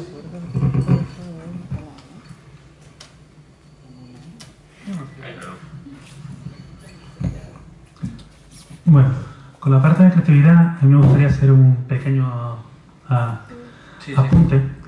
Yo digo ahora mismo, si yo llego a mi estudio y veo humo, ¿vale? Hay un incendio y, tengo cinco minutos para coger cosas de mi estudio y salvarlas. ¿Qué salvo? ¿El equipo de iluminación? Porque en lo que lo cojo me, me, quemo. ¿El ordenador con todas las fotos, con todos los trabajos? No, porque eh, tengo un backup de hace dos días en mi casa, con, toda, con todo mi material. Eh, la, eh, la, de, la, de, 800 de 2.000 euros en los objetivos, eso está bastante importante. ¿Eh? La, bueno, las modelos en casa como dice, vale, vale. Pero lo primero que yo cogería corriendo sería mi colección de libros de fotografía. ¿Vale? Tengo libros rarísimos, libros que consigo Amazon, que consigo en librerías de Madrid, escondidísimas, que, libros de que, que serían edición de 300 ejemplares de un fotógrafo checo. Eh, ¿Y por qué? Porque para mí en, en creatividad, antes de tu, de tu, idea, antes de empezar a trabajar, lo que necesitas es alimentar tu mente. Y la mente la alimentas viendo buena fotografía. ¿Vale? Y la buena fotografía, lo siento, no la veis en Facebook. ¿Vale? ¿Tenéis muchos amigos fotógrafos? Sí. ¿Hay, ¿Veis muchas cosas chulas? Sí. ¿Vale? Seguro que tenéis buena gente en Facebook. Pero también tenéis gente que no sube la mejor foto todos los días, ¿verdad? Eh, veis todos los días fotos que no son, no están pensadas, muchas veces. En cambio, por ejemplo, yo recomiendo mucho los libros de fotografía, porque el libro de fotografía es un libro, es un libro que ha tardado meses en, en crearse, o incluso años, que cada foto de ese libro ha trabajado y trabajada, y suelen ser fotos muy curradas y suele alimentar bastante. Hay, hay muchas páginas de internet, por ejemplo, una mymodern.net eh, y algunas similares, que tienen una edición fotográfica muy bruta. Significa, toda la foto que ves ahí tiene una calidad. Yo todos los días dedico, tengo una carpeta en mi, en, mi, en mi Chrome que se llama Foto Diaria. La abro y son una serie de páginas que yo sé que tienen una edición fotográfica decente y sé que voy a ver buenas fotos. A lo mejor no fotos de que me gusten, no fotos de mi estilo, pero buenas fotos. ¿Vale? Y a partir de eso, tengo una carpeta en mi escritorio que se llama referencias. En esa carpeta, cada vez que yo veo una foto que digo, joder, con esa foto va a esa carpeta. Ya mi carpeta de referencias tiene más de 5.000 fotos, está subcatalogada en plan moda, desnudo, lencería, fantasía, proyectos, etc. Yo veo una foto interesante, la cojo y digo, ¿esta dónde va? Aquí, ¿esta dónde va? Aquí. ¿Y qué significa eso? Que yo tengo mi propio archivo de fotos, que lo digo claramente, la mayoría de fotos son un, joder, me hubiera, me, gustado hacerlas a mí. De, coño, me hubiera gustado tener ese modelo, me hubiera gustado tener esa luz, pero son fotos que me han impactado, te las guardo. Y cuando yo hago un proyecto, o me piden una, una lencería, me piden, me piden un producto, lo que sea, hago esa carpeta y empiezo a ver fotos buenas. Y te inspiras ahí. Y me inspiro. Bueno, eso en marketing se llama benchmarking. Si buscan la palabra benchmarking ahora en, Google, van a encontrar que hacen una explicación en benchmark, el benchmarking es algo como que lo explican muy bien, tal, tal, pero el resumen del, del benchmarking es tomar referencia de cosas que han hecho otros que han sido exitosas y son buenas, que no está mal. Yo recuerdo que alguien, no recuerdo, no me gusta citar sin recordarme quién es, pero alguien decía que eh, los grandes eh, maestros copian, mm. los excelsos roban. Y es verdad, eh, uno siempre toma récord de, lo que está bien y no y es una técnica que ahora está totalmente, vamos, homologada. Uno puede entrar, ver y, copiar el estilo y después adaptarlo a su, a su manera de trabajar no es la copia pura y dura, uno no va a copiar exactamente la misma pose de la modelo, la misma iluminación, pero va a tomar un poco de aquí y un poco de aquí y con una técnica de benchmarking hacer algo muy pero muy bueno. ¿Por qué? Porque otro ya lo ha hecho y ha dado un buen resultado. Bueno, yo cuando vivía en Madrid, por ejemplo, estudiando, yo vivía a base de pasta y sobres, de sopa. Y eso que tenía una beca que me pagaba bien para comer bien. No, todo mi dinero me lo gastaba en libros de fotografía en las tiendas de Madrid de fotografía. Y me vine con más libros que ropa. ¿Vale? Pero de todas formas, aquí muchas bibliotecas tienen sección de fotografía. Y tú puedes mirarla, incluso digo, eh, mirar por internet y demás. Acerca de ser fotógrafo freelance, la creatividad a mí me pasa mucho. Una cosa que tengo claro es que todos tenemos hoy en día una cultura fotográfica acojonante. Todo el mundo, sepa o no de fotografía. ¿Por qué? Porque eh, hace 100 años, ¿cuántas fotos veía una persona? Las tres del periódico de ese día, un par más en alguna revista semanal y poco más. 200 fotos al año, como mucho. ¿Cuántas fotografías ve cualquiera de vosotros hoy en día? ¿Cuántas? ¿Cuántos cientos? ¿Cuántos miles? A lo tonto, se tiene una cultura fotográfica innata gigantesca. Lo que pasa es que no, se nos enseña recursos para expresar eso. Para expresar eso. Para expresar eh, la crítica de la fotografía. Yo, por eso mismo, cuando vienen clientes, sobre todo que no están en el ámbito del diseño, bueno, los mejores clientes realmente para mí son las empresas de diseño también son, los más cabrones, digamos, porque son los que te dicen, te dan la hoja de requerimiento de quiero tal plano, lo importante está en tal encuadre, en tal punto, en tal tercio, quiero sensación de movimiento en tal, quiero primer, primer plano tal, segundo plano tal, que yo cuando me tengo ese requerimiento hago de... Pero luego tenemos los clientes normales que te dicen, oye, quiero, por ejemplo, un ceramista que me trae un par de productos, o un joyero, por ejemplo, que ahora yo estoy preparando con gente que va a presentar alguna cálida, hace cositas y tal. Eh, bueno, va a intentar presentarse y tal. Fotos de productos, fotos de nuevas. Dicen, ah, dije que una foto chula, pero chula, pero quiero, la quiero bonita, pero no muy contrastada, no, no muy tal, y le quiero unos colores así. Yo cuando me empiezan así, les, suelo cortar mira, alguna cosa. Aún hay tiempo, ¿no? Sí, sí, la sesión es dentro de tres semanas. Muy bien. Quiero que durante esta semana te dediques a ver webs de moda de tus diseñadores favoritos, de tus páginas, lo que sea. Y cuando veas una foto de moda que te guste, me la apartas en una carpeta. ¿Vale? Y cuando hacen eso, a, la semana, y van a hablar conmigo, yo tengo una carpeta de fotos de que me gusta. Y yo leyéndola, puedo decir, vale, A esta persona le gustan los contrastes fuertes, lado muy quemado, lado tal, o le gusta el juego de colores, o le gusta tal. Persona es incapaz de describírmelo, porque no tenía la formación, pero sabe elegir lo que le gusta y por eso, y por eso me lo enseña. A mí una vez, hace años, cuando pilló el PC, me dio, me una modelo, esta modelo luego llegaría ganó muchísimos premios, está ahora mismo modelo internacional, pero yo la conocí cuando, cuando, no era, cuando apenas estaba en una agencia pequeña, y me trajo una carpeta así de recortes de revista, de fotos de Albi, estas son las fotos que me han gustado siempre, las he guardado desde que tengo 14 años o así, las he guardado unas fotos que me gustan, y que vale, tengo una referencia. Y me quedé en plan joder, sabe lo que le gusta y sabe expresarlo. ¿Vale?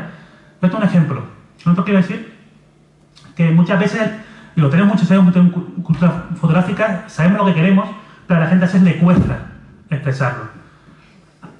Pero finalmente, a veces cuando tengo una sesión de fotos con alguien que quiere una foto, pero no sabe qué quiere, y si hay tiempo, yo que hago, escojo un par de libros que tengo de retratos, digo así de los mejores retratos del siglo XX, los mejores no sé cuántos, premios WordPress Foto, tal, lo siento con un café en la mesa, le, le doy delante y digo, mira, echa un vistazo y cuando veas un estilo de foto que te guste, me lo dices. Y me dice, mira, esta, esta y esta, digo yo, vale, viendo eso, sé lo que tú quieres. Y ya, pues todo lo adopto a mi estilo. Pero a mí, para mí es fundamental fijarse en el trabajo de todos los demás, fijarse, sobre todo porque eso, una buena foto no es, no es, no es la idea de, oye, quiero copiarla, no, quiero aprender de ella. Y quiero decir, joder, quiero intentar hacer algo a este nivel. Eh, recién estaba confirmando un dato. Eh, por el mes pasado, mm, bate récords Instagram con sube por día 12 millones de fotografías al día. 12 millones de fotografías. Nada más que Instagram. Y bueno, tenemos que contar lo que sube Facebook y todo eso. O sea que la información, el bombardeo de imágenes que tenemos es bastante mm, eh, importante con relación a lo simplemente hace 10 años atrás. No, no me voy mucho más atrás, 10 años atrás nada más. Pues, Carlos, el tema de, de, la, de, la, creación, tú hablabas hoy que hay que buscarse su, su estilo. Mm. ¿Tú trabajas un solo estilo o...? No, no. Yo creo que la creatividad como concepto es la capacidad de generar nuevas ideas o nuevos conceptos o incluso de aquellas ideas que ya están sobre la mesa o de, lo que ya te ha hecho, ser capaz mm, de, adaptarlo a tu forma de trabajo y sacar algo nuevo. Entonces, no, no, me centro exclusivamente en un solo estilo, en una sola forma de, trabajar, porque creo que abriéndote a, muchos más, eh, eres capaz de generar un contenido más rico en, en, todo, en, la capacidad de sorprender, no debe de quedarse solo en un solo estilo, sino si eres capaz de dominar varios, podrás coger lo mejor de cada uno y con eso crear tu propio estilo. En mí, así lo veo. ¿El fotógrafo de, el fotógrafo de retrato puede ser fotógrafo de paisaje? Sí, por supuesto. No, no una cosa no invalida. Yo creo que la visión del fotógrafo es, es algo innato.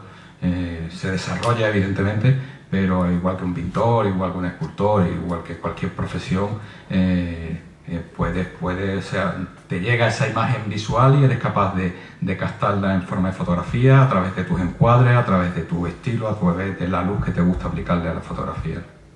Y, si hoy nos tienes que dar, por ejemplo, un pequeño consejo así para, para iniciar una creación, ¿lo dejas en mano de cada uno o hay algunos trucos que son básicos? Para ayudar a la inspiración, ¿no? Digo. Yo, mm, no sé, yo cuando trabajo, cuando hago algo de, de, castrofotografía, que es lo que trabajo mucho últimamente, miro mucho lo que se hace en el mercado, como habíamos dicho, el benchmarking, y funciona, evidentemente, porque sigues una técnica y sigues un, una, tendencia, una tendencia. Y salirte a veces de la tendencia es ser muy original, pero también puede costarte dinero.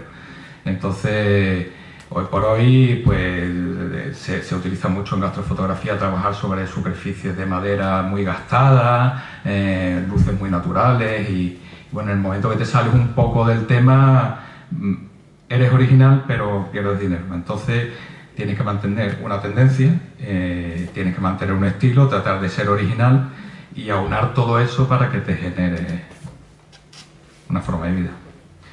Seguimos con la, ronda, empezamos por esta punta.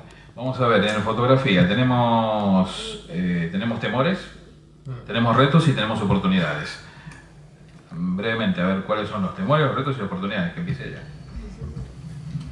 Pues como temores... Tus temores, venga.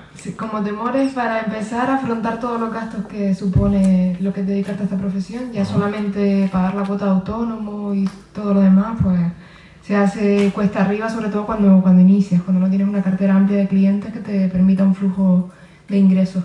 Eh, a continuación, pues te ves un poco en el mercado y ves mm, pues mucha competitividad, eh, sobre todo lo que es a nivel de, de bueno, pues personas que, pues, no no están aseguradas y, regalan casi el trabajo, no tienen la formación y entonces, bueno, pues hay clientes que buscan eso, que buscan eh, lo barato y no la calidad.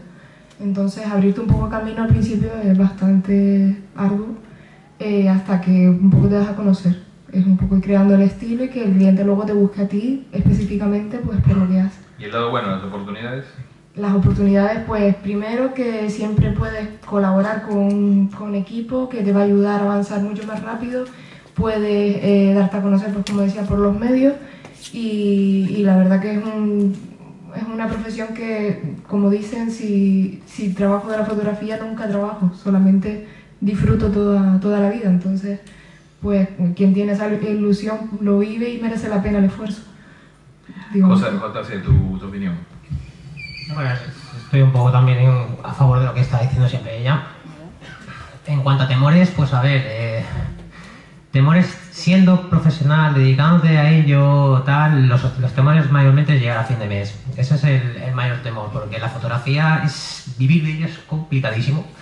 Hay, como siempre digo yo, mucha pantera dentro de la jungla y diferenciarte un poco, destacar, todo eso, hay muchos temores, claro que sí. O sea, en cuanto a a ese miedo, ¿no? De, de, querer llegar a, donde quieres llegar y, encontrarte de que muchas muchas trabanquetas, trabanquetas se llama, no, aquí es muchas, eh, sí, muchos obstáculos, trabanquetas en catalán, sí, muchos, muchos obstáculos que te vas encontrando en tu día a día y llega un momento pues que a veces mm, yo ya llevo cuatro años más o menos y querer tirar la toalla 20.000 veces, o sea, 20.000 veces, pero también digo, realmente me estoy dedicando a lo que me gusta. O sea, considero que mi trabajo, pues estoy a gusto trabajando en lo que trabajo, me gusta mi nivel y quiero llegar mucho más lejos, ¿no? Pero para eso pues hay un largo camino. Ese, camino pues te trae pues miedos, eh, valorarte a ti mismo, eh, valorar tu trabajo y ver cómo va todo.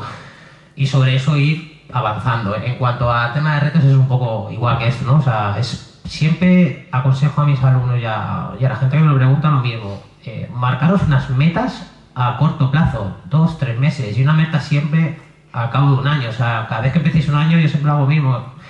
Me creo metas de cada tres meses, trimestrales. ¿Para qué? Para no venirme abajo si veo que esa meta de aquí a un año tarda, tarda, tarda. Lo que hago es metas a corto plazo. Cuando consigo esa meta me propongo otra meta nueva, otros tres meses. Y al final, al cabo del año, pues una a largo plazo. Eso en cuanto a retos siempre. Eh, y en cuanto a oportunidades, oportunidades hay, hay a porroncillo realmente. Cada día, como, como él decía, Omar decía, eh, hay mucho auge también de fotógrafos. Para mí es una es un poco bueno tedioso porque generan eh, mucho trabajo pero a precios muy low cost y a que nos dedicamos, mm, que estamos dados de alta y toda la historia, pues claro, eh, no lo mismo eh, una comunión a 30 euros que le entrega 50 fotos que tú dices, no, te voy a cobrar 12,50 por entregarte 20 fotos. Y dices, ¿dónde va? Yo me quedo con la otra, ¿no? Pero es un poco es, también, eh, también es un poco la educación que tiene la gente en cuanto a, la valoración de la fotografía, porque, por ejemplo, aquí un curso de, de fotografía lo puedo dar a 80 euros, 8 horas, para abaratar un poco el, coste aquí en Canarias, ya que tuve que bajar un 30% mis tarifas, un 30% de Barcelona aquí, pues ahí en Barcelona, aquí mismo taller, estoy cobrando el doble, a 160. Pero ya aquí ya cuesta que la gente vaya al tema de los, de los talleres y tal. te estoy regalando prácticamente el taller. Ah, eh, o sea, realmente es, hay falta de valoración realmente en, este trabajo. a nivel de vídeo, a nivel de vídeo, a nivel de fotografía, a nivel de maquillador, en general. Todo lo que engloba moda, imagen y tal en España estamos, esta profesión está muy saturada también porque hay mucho, hay mucho intruso dentro de, nuestra profesión Y eso pues abarata también los costes, abarata, se, se desvalora todo. A mi oportunidad, pues bueno, como me dedico a la formación, pues ya que no me puedo pelear con el enemigo, pues intento un poco a menos formarlo para que, ya que lo que está haciendo, pues que lo haga lo mejor posible. ¿Vale? Es un, entonces, claro, es un poco el círculo buscar de, a ver, ¿dónde puedo comer yo? Pues bueno, ya que hay tanta gente que me está quitando el trabajo, pues bueno, pues haré lo posible para formar a esa gente, ganarme lo que ellos están ganando y al menos me pueda llevar yo algo para pagar las facturas. Es un poco el círculo este vicioso que hay hoy en día. Hombre, eh, como decía recién Domingo, esto se trata también de aplicar un poco el marketing a lo que uno hace Claro. y tratar de sacar lo- de lo bueno que tiene, potenciarlo y las carencias que uno tiene, tratar de, de minimizarlas o que no te salgan Claro, nada. ¿no? o sea, yo, yo lo que tengo claro es que yo tengo, yo tengo un producto, que es el producto que yo intento generar. Y sobre ese producto ni voy a bajar precios, ni voy a bajar condiciones, ni nada. Ese es mi producto, ese es mi trabajo y eso es a lo que yo me dedico. Si lo quieres, ahí está. Si no lo quieres, hay 20.000 fotógrafos que pueden darte otros productos o mismo un producto similar a otros tipos de precios. Eso ya lo dejo a libre albedrío, pero lo que sí que intento es valorar mi trabajo, valorar todo el esfuerzo, todo lo que yo he estado haciendo en estos, en estos años y crear ese producto, que es lo que cada uno tenemos que crear, un producto nuestro propio, original, y a raíz de ahí tirar. Por ejemplo, ahora estoy empezando con los cursos de Instagram. ¿Por qué? Porque hay un auge brutal de Instagram, pues ahora estoy haciendo pues formación de, tres horitas de este tipo así para formar, a lo mejor hacer una sesión de fotografía de moda, de retrato, pero lo haces con el- fotografía de móvil y luego lo editas con Instagram y luego lo publicas con Instagram. No te olvides que Instagram hoy lo utilizan las empresas, las grandes Correcto. empresas lo utilizan como Correcto. medio de, de promoción, como medio de venta, como medio de marketing. Por ejemplo, una cosita, eh, en Facebook, para publicar talleres, para publicar redes, cosas tal, va muy bien, pero Facebook ahora mismo es, es un saca dinero también. O sea, si quieres llegar a tantas Si quieres personas, llegar hay que pagar. hay que pagar. Pero es que Instagram va, va- va a utilizar esta misma plataforma en breve, por lo que tengo entendido. Son de la misma empresa. va a utilizar la misma plataforma el de para el tema de stream. Entonces, ¿qué pasa? Que eh, Facebook ha, pegado un bajón bastante considerable a nivel de, de- de promoción y tal. Instagram, eh, lo que- por mi propia experiencia, está pillando cada vez más auge en el tema este. Entonces, claro, te tienes que ir un poco adaptando a las situaciones y un poco adaptando a la- al día a día, lo que te vas encontrando también. Eso, pero eso sobre todo es eso, el día a día lo que te vas encontrando. Laura, que es community manager y también fotógrafo, bueno, ahí lo mismo, cuáles son los temores, los retos y las oportunidades dentro del ambiente de, de las comunicaciones sociales. Cuando uno empieza, ¿no? El mayor temor es Hacienda. O sea, es el mayor temor, pero una vez superada esa barrera, ¿no? De ya sabes gestionar tus papeles, lo tienes todo regla y demás, el mayor temor es la inseguridad. Es decir, estás eh, en en un trabajo que estás emprendiendo, entonces estás continuamente eh, creando, intentando obtener nuevos clientes y demás. Y luego eso te conlleva al, al reto, ¿no? Después cada día es un reto, es decir, desde que te levantas y te tomas el primer café, tienes que estar pensando en, a ver, ¿y cómo, y qué voy a llevar a esta reunión? ¿Y qué voy a hacer? ¿Y qué nuevas propuestas tengo? Porque es decir, en- en- no sé en el caso de los compañeros, pero en mi caso eh, tengo que trabajar a ritmo de internet y entonces hay un tráfico muy rápido y hay muchas influencias, muchas cosas nuevas y entonces uno de los grandes retos también es la formación, es decir, continuamente tienes que estar eh, leyendo, informándote, viendo las cosas nuevas que hay, es decir, que, porque son herramientas que al final tienes que aplicar a tu trabajo. Y por último, pues oportunidades, pues todas, es decir, hoy vivimos en un mundo prácticamente globalizado que tenemos al alcance de nuestra mano eh, unas herramientas de comunicación increíbles para potenciar nuestro trabajo, para hacer eh, incluso pu- publicidad, no solo para trabajar para otras empresas, sino tú como profesional también darte publicidad y la verdad que tenemos unas oportunidades increíbles y hoy en día sobre todo eh, no solo eh, los jóvenes sino mucha mucha gente también mayor que se ha quedado eh, a los 30 40 años en paro ha visto una vía en internet increíble para volver al mercado laboral. Y la verdad que yo creo que en este mundo si tienes constancia y seguridad lo que haces oportunidades todas Eh, dicho esto, le cedo la palabra a mi eh, Pues, Domingo, lo mismo pasa en el ambiente audiovisual, ¿no? Hay temores, hay retos, hay oportunidades. Por supuesto, eh, como decía Jonathan, mi consejo es que las metas nos las queremos a corto plazo, eso es muy importante, y el principal temor que tenemos que tener es a nosotros mismos, ¿no?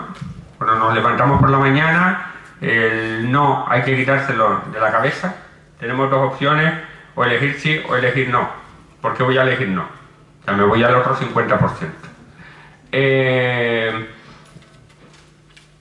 comentar también que con respecto al intrusismo que comentaba Jonathan, eh, es un tema que no podemos arreglar, pero lo que sí tengo yo muy claro después de 25 años en este medio es que el intrusismo tiene un mercado.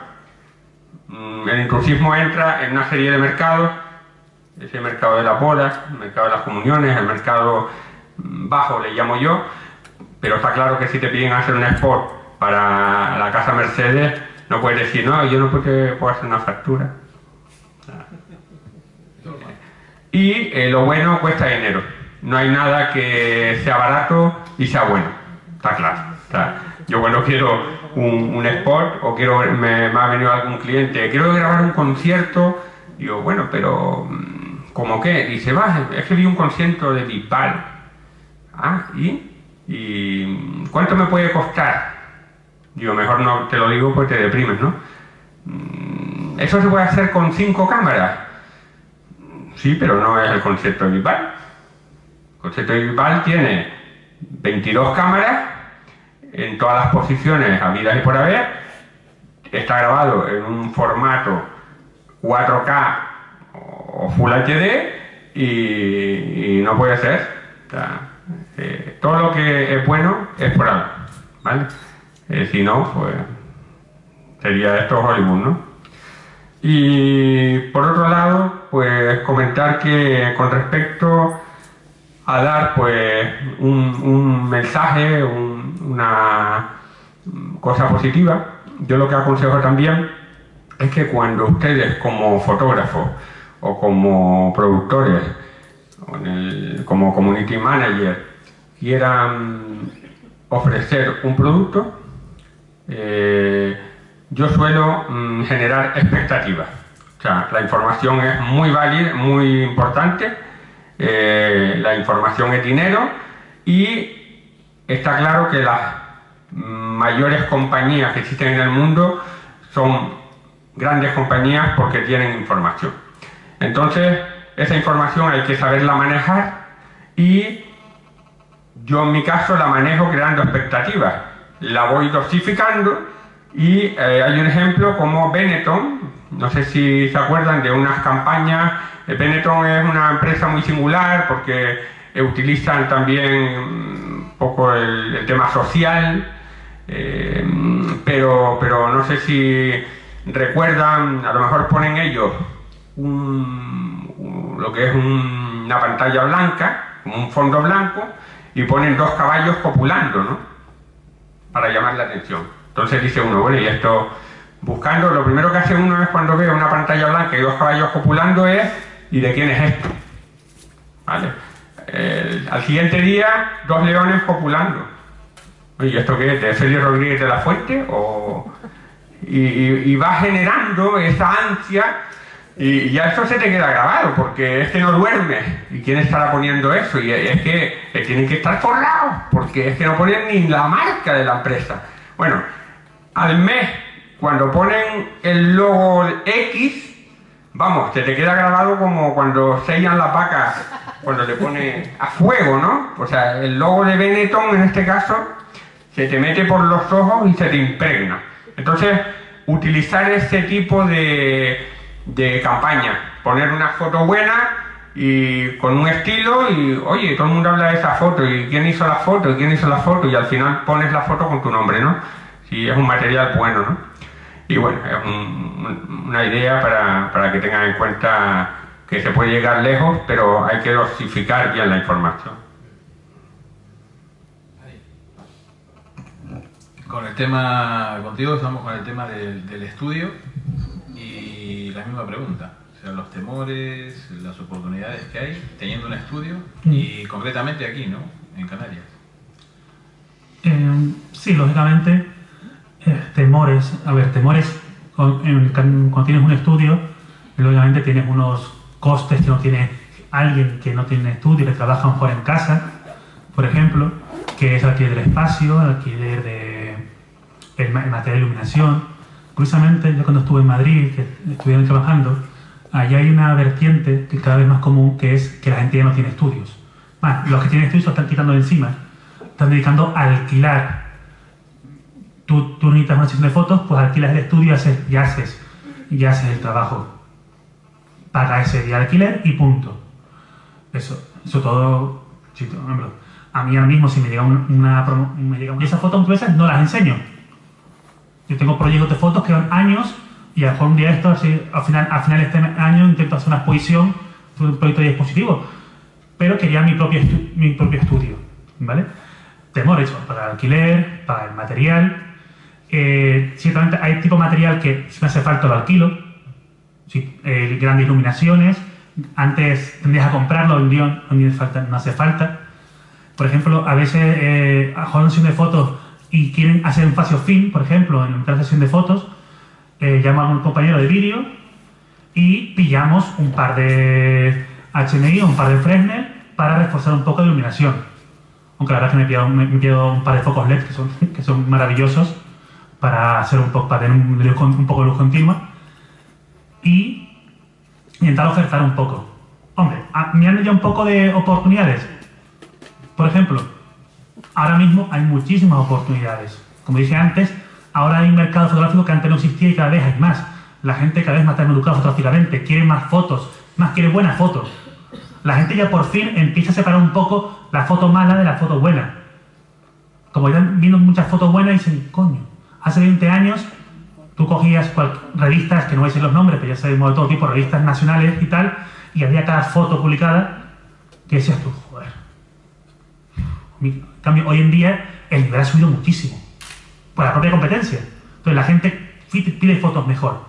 Y teniendo al menos un estudio, yo me abarato costes, me abarato tal, e intento usar esas oportunidades.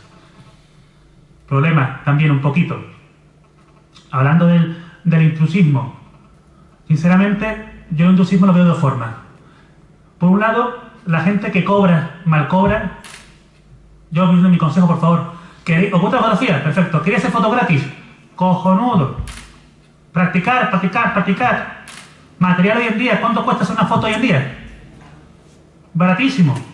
Céntimos de, de gasto de energía, de gasto tal. Tenéis ya la foto, tenéis ya la cámara, tenéis, tenéis ya el objetivo. Usarlo, hacer fotos.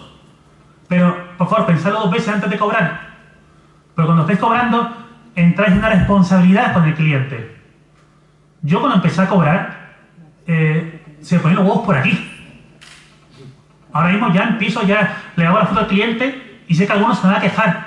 Incluso voy a tener que devolver el dinero por muchas quejas. Para, mira, no te gusta el trabajo, toma, te devuelvo el dinero, me quito el problema. Pero al principio, al principio yo los aquí en plan de por Dios, editando las fotos horas y horas, porque decía, me va a dar dinero, me va a pagar por mi trabajo. Intentaba, intentaba cobrar bien. Hoy, y, y a mí cuando me dice alguien, no, es que he hecho una comunión y la cobro 50 euros, me quedo así. Digo, yo es que pensando solo en el gasto, en material y tal, que no compensa. Oye, yo quiero hacer comuniones, quiero probar ese tipo de fotografía, perfecta, anda, pues no la cobres. Practica. Cuando tengas dominio, que sepas que vas a poder sacar esa, ese, ese momento, cuando, cuando sepas que ya tienes cierta, cierto nivel, empieza a cobrar. No pasa nada por hacer cosas gratis. A mí me han, típico, me han pedido un presupuesto una vez, oye, Albi, tal foto, tal, presupuesto tal. Mira, que al final me lo van a hacer, tal amigo me lo, me lo hace gratis. Chapó, perfecto, te lo va a hacer, pero quiero practicar. A mí, una- a mí hace tiempo una, una novia, una, pues yo bodas hago un poquito, la verdad, no odio las iglesias. Pero eh, me gusta mucho lo que es preboda, posboda, la verdad es que eso me gusta mucho. Eh, y me vino una, una novia y me dice, no, es que al final no, porque un fotógrafo de otra isla me ha dicho que con que le pague el viaje, me hace las fotos. Porque quiere aumentar su currículum con fotos en otras islas y tal. Yo me enfadé. En plan bueno, pues es lo que hay. Porque la gente, como dice la gente ahí, que encuentro compañeros, la, gente que roba, eh, ¿cómo se llama? ¿Qué versión usasteis? ¿Qué versión? La gente esta nueva... Intrusismo, ciberpanteras, algo así, dijisteis. Ah, sí, Bueno, y tal. Eh, Los panteras de la jungla. Mm, ¿De la jungla? Realmente para mí, detrás de eso hay un fenómeno curioso que es, es la pasión. Hay gente apasionada. Intenta meterse. Y eso es la parte buena de quedarse. Que cada vez hay más pasión, cada vez va a subir más. Pero también eso, también hay mucho cara dura que va a querer siempre piensa, aunque eso pasaba antes, no, sobre todo el tema de fotobodas, ¿sabéis? La gente esta que decía, yo tengo mi curro esta semana, pero fin de semana me dedico a hacer fotos. Me he comprado una cámara muy grande de hombro y me voy a la boda a hacer vídeos. Claro, no había competencia. La gente solo quería un vídeo que a lo mejor veía dos veces en su vida y ya está. Pues hoy en día sí competencia. ¿Vale? Entonces, resumiendo simplemente, eh, con el tema del estudio, hay riesgos, por supuesto. Mi consejo al principio, no gastéis mucho dinero, en serio. Alquilar. Tener lo mínimo para trabajar un poquito. Eh, dos pies, dos flashes pequeños, una ventana, un paraguas. Con eso tenéis un montón de cosas. Y si, un, y si os sale un trabajo grande, alquilarlo. Por no mucho dinero podéis alquilar un, un, equipo de fotografía de sentillo con un asistente que sabe usarlo y perfecto. Y con el cliente vas, a quedar como Dios. Y decís, oye Aldi, ¿y eso quién te lo paga? Sí, se lo, se lo pone en el presupuesto. Es más, tú le haces un presupuesto a un cliente y le dices, eh, tanto mi trabajo y tanto por el equipo. Y ya está. Eh, obviamente el cliente, eh, si le pones mucho por el equipo, no le puedes decir, oye, me tengo que comprar este equipo de iluminación de 1000 euros. Y te va a decir, oye, pero ¿qué, quieres? ¿Comprar un equipo a, mi costa? Pero tú dices, oye, no, 250 euros el alquiler del equipo. Y dices, vale, me parece aceptable. Otra cosa que tú te hayas comprado el equipo, aprovechando te hayas comprado el equipo, los 50 euros te lo pagas a ti mismo. También pasa. Pero lo importante es eso, hacer fotos y aprovechar. Pues yo llegué a la conclusión una vez de que los fotógrafos eh, tenemos muchos amigos y al final no tenemos ninguno, porque te dicen, eh, oye, mira, que es mi cumpleaños, no te vienes mi cumpleaños, y que guay, me invitaron a mi cumpleaños. Y dos horas antes dicen, oye, ¿te traes la cámara? ya, sí, la llevo. Bueno, Carlos, eh, con respecto a, las oportunidades que hay, y, muy... me parece bien. Es que el, tamaño no importa. Eh, con respecto al, tema de las oportunidades que hay en el share de fotos, en, poder compartir fotos a través de, los, bancos. Eh, por ejemplo, aquí a lo mejor hay alguien que está interesado y que quiere mm, mañana comenzar. ¿Cuál es la forma? ¿Cuál es el camino para poder lograrlo? Bueno, los bancos de imágenes están todos en internet y, simplemente meterte en las páginas y afiliarte a esas páginas, cumplir una serie de requisitos técnicos y de calidad y empezar a trabajar. Una vez que te aprueben esas primeras fotos, empezar a trabajar, definir cuál es tu estilo, con qué te sientes más cómodo y como todo en fotografía en todo, innovar, estudiar, trabajar y trabajar y subir fotos y, y hacerte un portfolio de calidad que la gente vaya a buscar tus referencias. ¿Hay alguna que sea más fiable? ¿Hay otras que pagan mejor? Hay de todo, hay de todo. No, se ha globalizado mucho el tema de los bancos de imágenes. Hace unos años sí es verdad que eran más temáticas. Eh, había páginas más dedicadas al estocaje de noticias, como podía ser Getty o podía ser Alamy o Corby, y otras más dedicadas al lado comercial como Shutterstock y S-Stock y Tristan y Fotolia. Hoy por hoy todas aceptan todo, aceptan vídeo, aceptan también música, o sea, el contenido se está globalizando. Eh, por eso no hay que tener miedo a las oportunidades, las oportunidades están ahí, es cuestión de estudiar, de, innovar y de, no dejarse nunca atrás. Y, bueno, lo que decíamos es, cuestión de empezar, de subir fotos y, de ver si eres capaz de mantener un ritmo de subida y, y de estar al día, de un trabajo más. Obviamente para ganar hay que mantener un ritmo de, trabajo, ¿no? Te lo tienes que plantear como una jornada de 8 o 10 horas las que le quieras dedicar y ver lo que se está haciendo y sobre esa base que se está haciendo y lo que están demandando de contenido, adaptar a tu forma de trabajo y, hacerlo simplemente. Por lo que hablabas antes, eh, podemos decir que es una forma de, ganar dinero. ¿no? Es una profesión, es fotografía. Eh, hace unos años se hablaba muy mal del estocaje y a mí no me, no me gustó empezar en estocaje creo que era una forma de, en parte, de prostituir la fotografía, dicho malamente. ¿Por qué? Porque se paga poco por una fotografía. En cambio, la globalización hace que ese poco que te paguen por una fotografía para un determinado uso eh, se puede generar muchas veces. Es decir, yo puedo vender hoy una foto por un dólar, pero esa misma foto la voy a seguir vendiendo durante 3, 4 años que tenga de vigencia por, por, las características que tenga y venderla 5.000 veces, que, que, es lo normal. ¿no? Entonces, me da igual vender una sesión de fotos eh, para para Bimbo, como le pasó a Albi, por lo que sea, 700 euros, 1000 euros, lo que, el trabajo que se genere, o vender 700 fotos de un euro. El caso es poder trabajar y adaptarse al mercado. Eh, yo no puedo luchar contra el corte inglés ni contra los chinos de, un, de todo a 100, ¿no? Hay que adaptarte, buscar tu nicho y, trabajar. Si lo recuerdas, ¿cuántas, ¿cuántas fotos tienes subida tú en...? En torno a 8.000 mm, en bancos de imágenes. Pues bueno, llegó el momento de las preguntas, ¿verdad? Eh, sí, ¿no? Mm, bueno, eh, aquí tienen un panel que supongo que debe unos 300 años de experiencia aquí arriba, ¿no? Más o menos.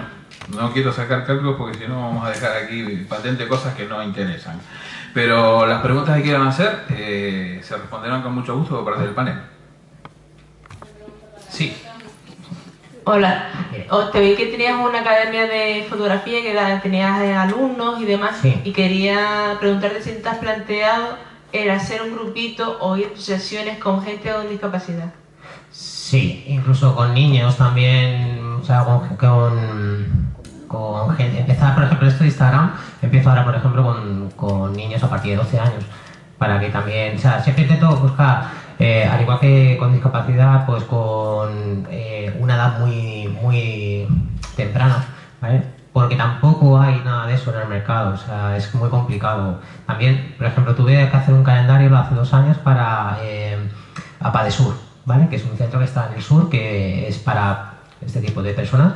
Y eh, tuve que hacer un calendario con, con 12 personas era muy complicado realmente hacer ese tipo de cosas, porque eh, en muchos casos no, no, son conscientes de lo que están haciendo. Entonces, ah, para personas que... Es que es un tema muy delicado. Es un tema complejo, pero como tú dijiste que trabajabas con la psicología, digo... Sí, sí, sí, sí claro. O sea, intentas siempre adaptar un poco a lo que el cliente o tipo de persona pues intenta aprender, ¿no? O quiere aprender pero sí que sobre todo en ese campo es muy complicado. Es complicado porque tienes que tendrías que tener previamente una entrevista con él, más o menos, para o con este tipo de, público, para ir juntando este tipo de, de, personas con este tipo de discapacidad que más o menos se mantengan en un mismo nivel de, conocimiento, de saber lo que están entendiendo, saber manejarlo.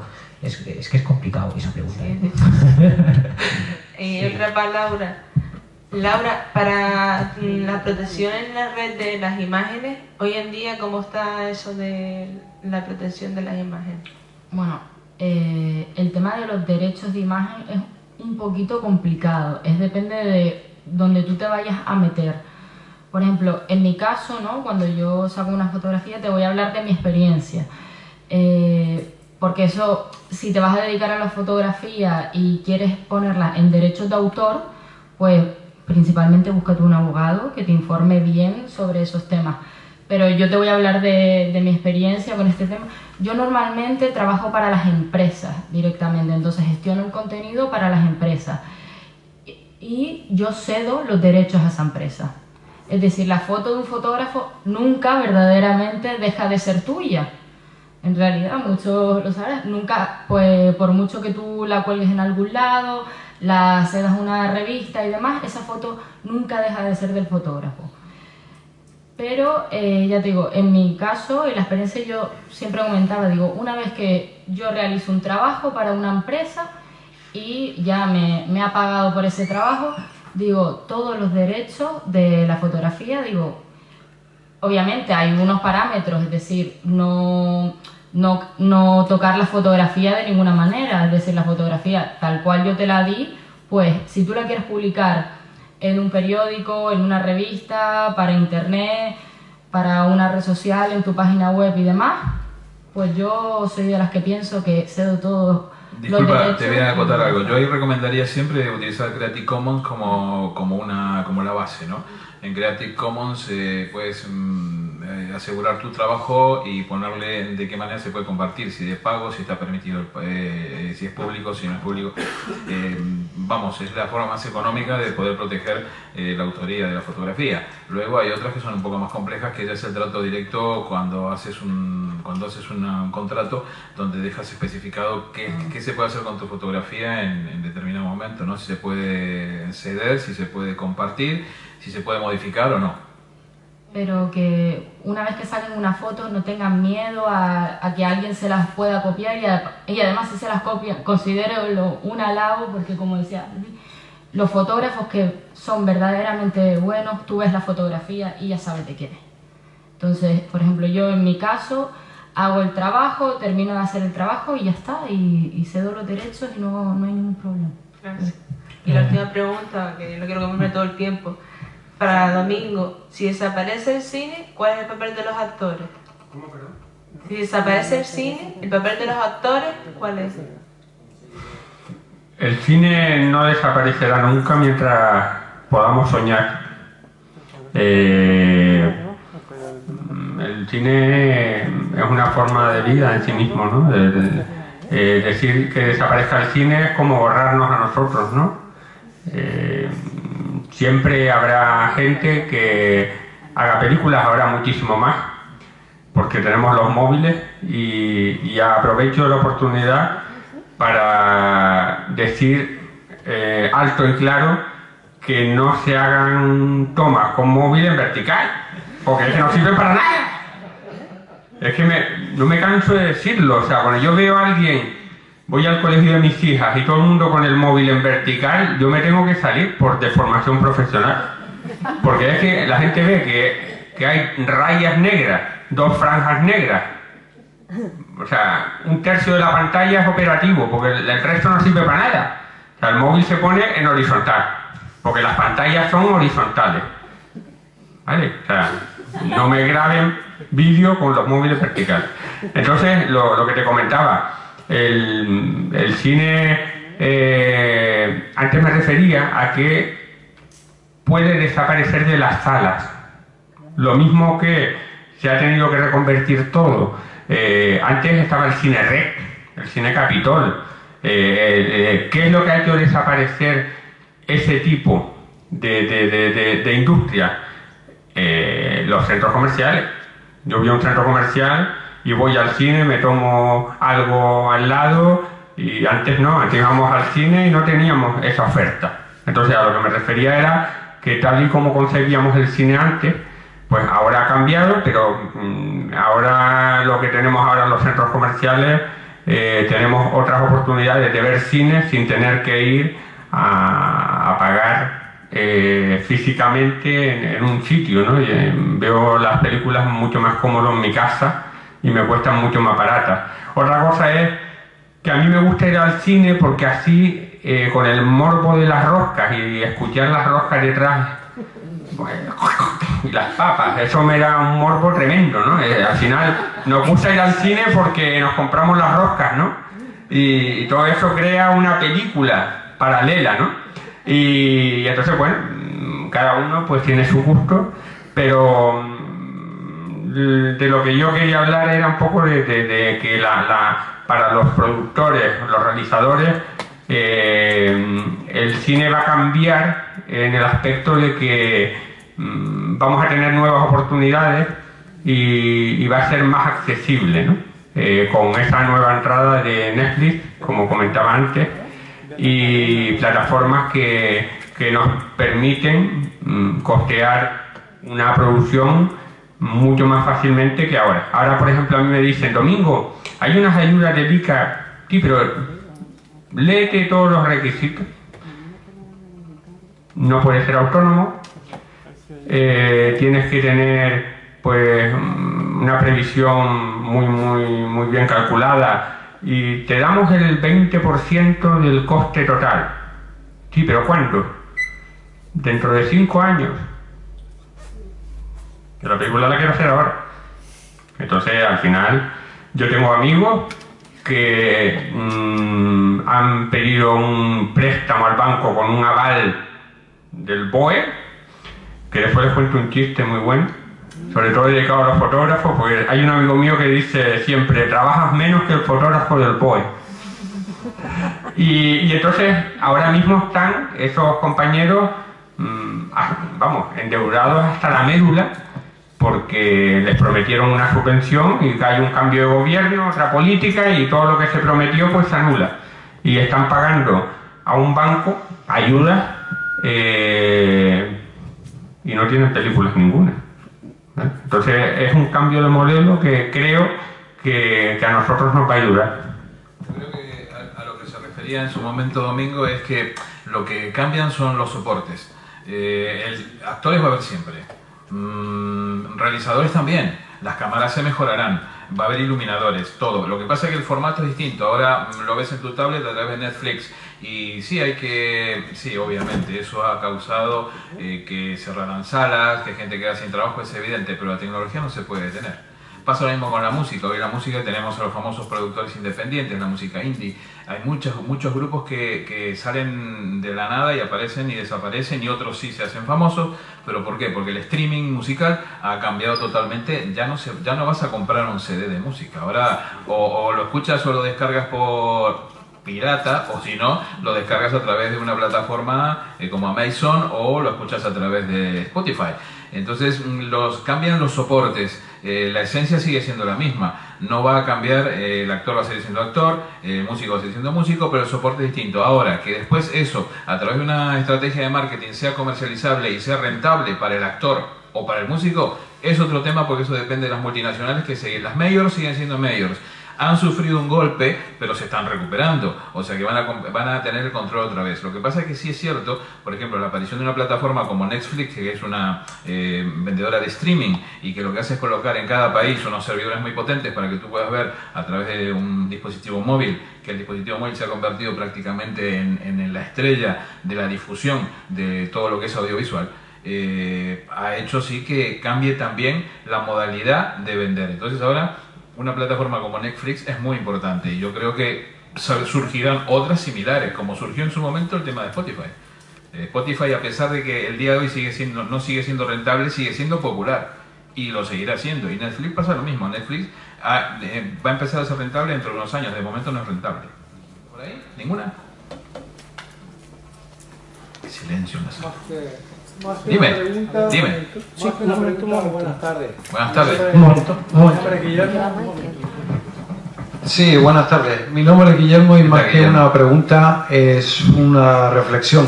Sí. Eh, en varias ocasiones se ha nombrado, eh, pues así de refilón, el asunto de, digamos, la democratización de la, de la fotografía mm. con, con, la venida de, Internet y todo esto, ¿no? Mm. Eh, en otros, en otros ámbitos he escuchado también eh, lo de que hay demasiadas imágenes, de que hay que reinterpretar eh, imágenes que ya existen. O sea, lo que quiero decir con esto es que persiste esa idea de, de que hay mucho y que no se puede hacer gran cosa porque ya hay de todo, pero si lo miramos bien, creo que hay demasiado, pero bastante malo, ¿no? O sea, incluso se ve en exposiciones de fotografía que hay, eh, deja mucho que desear muchas veces, ¿no?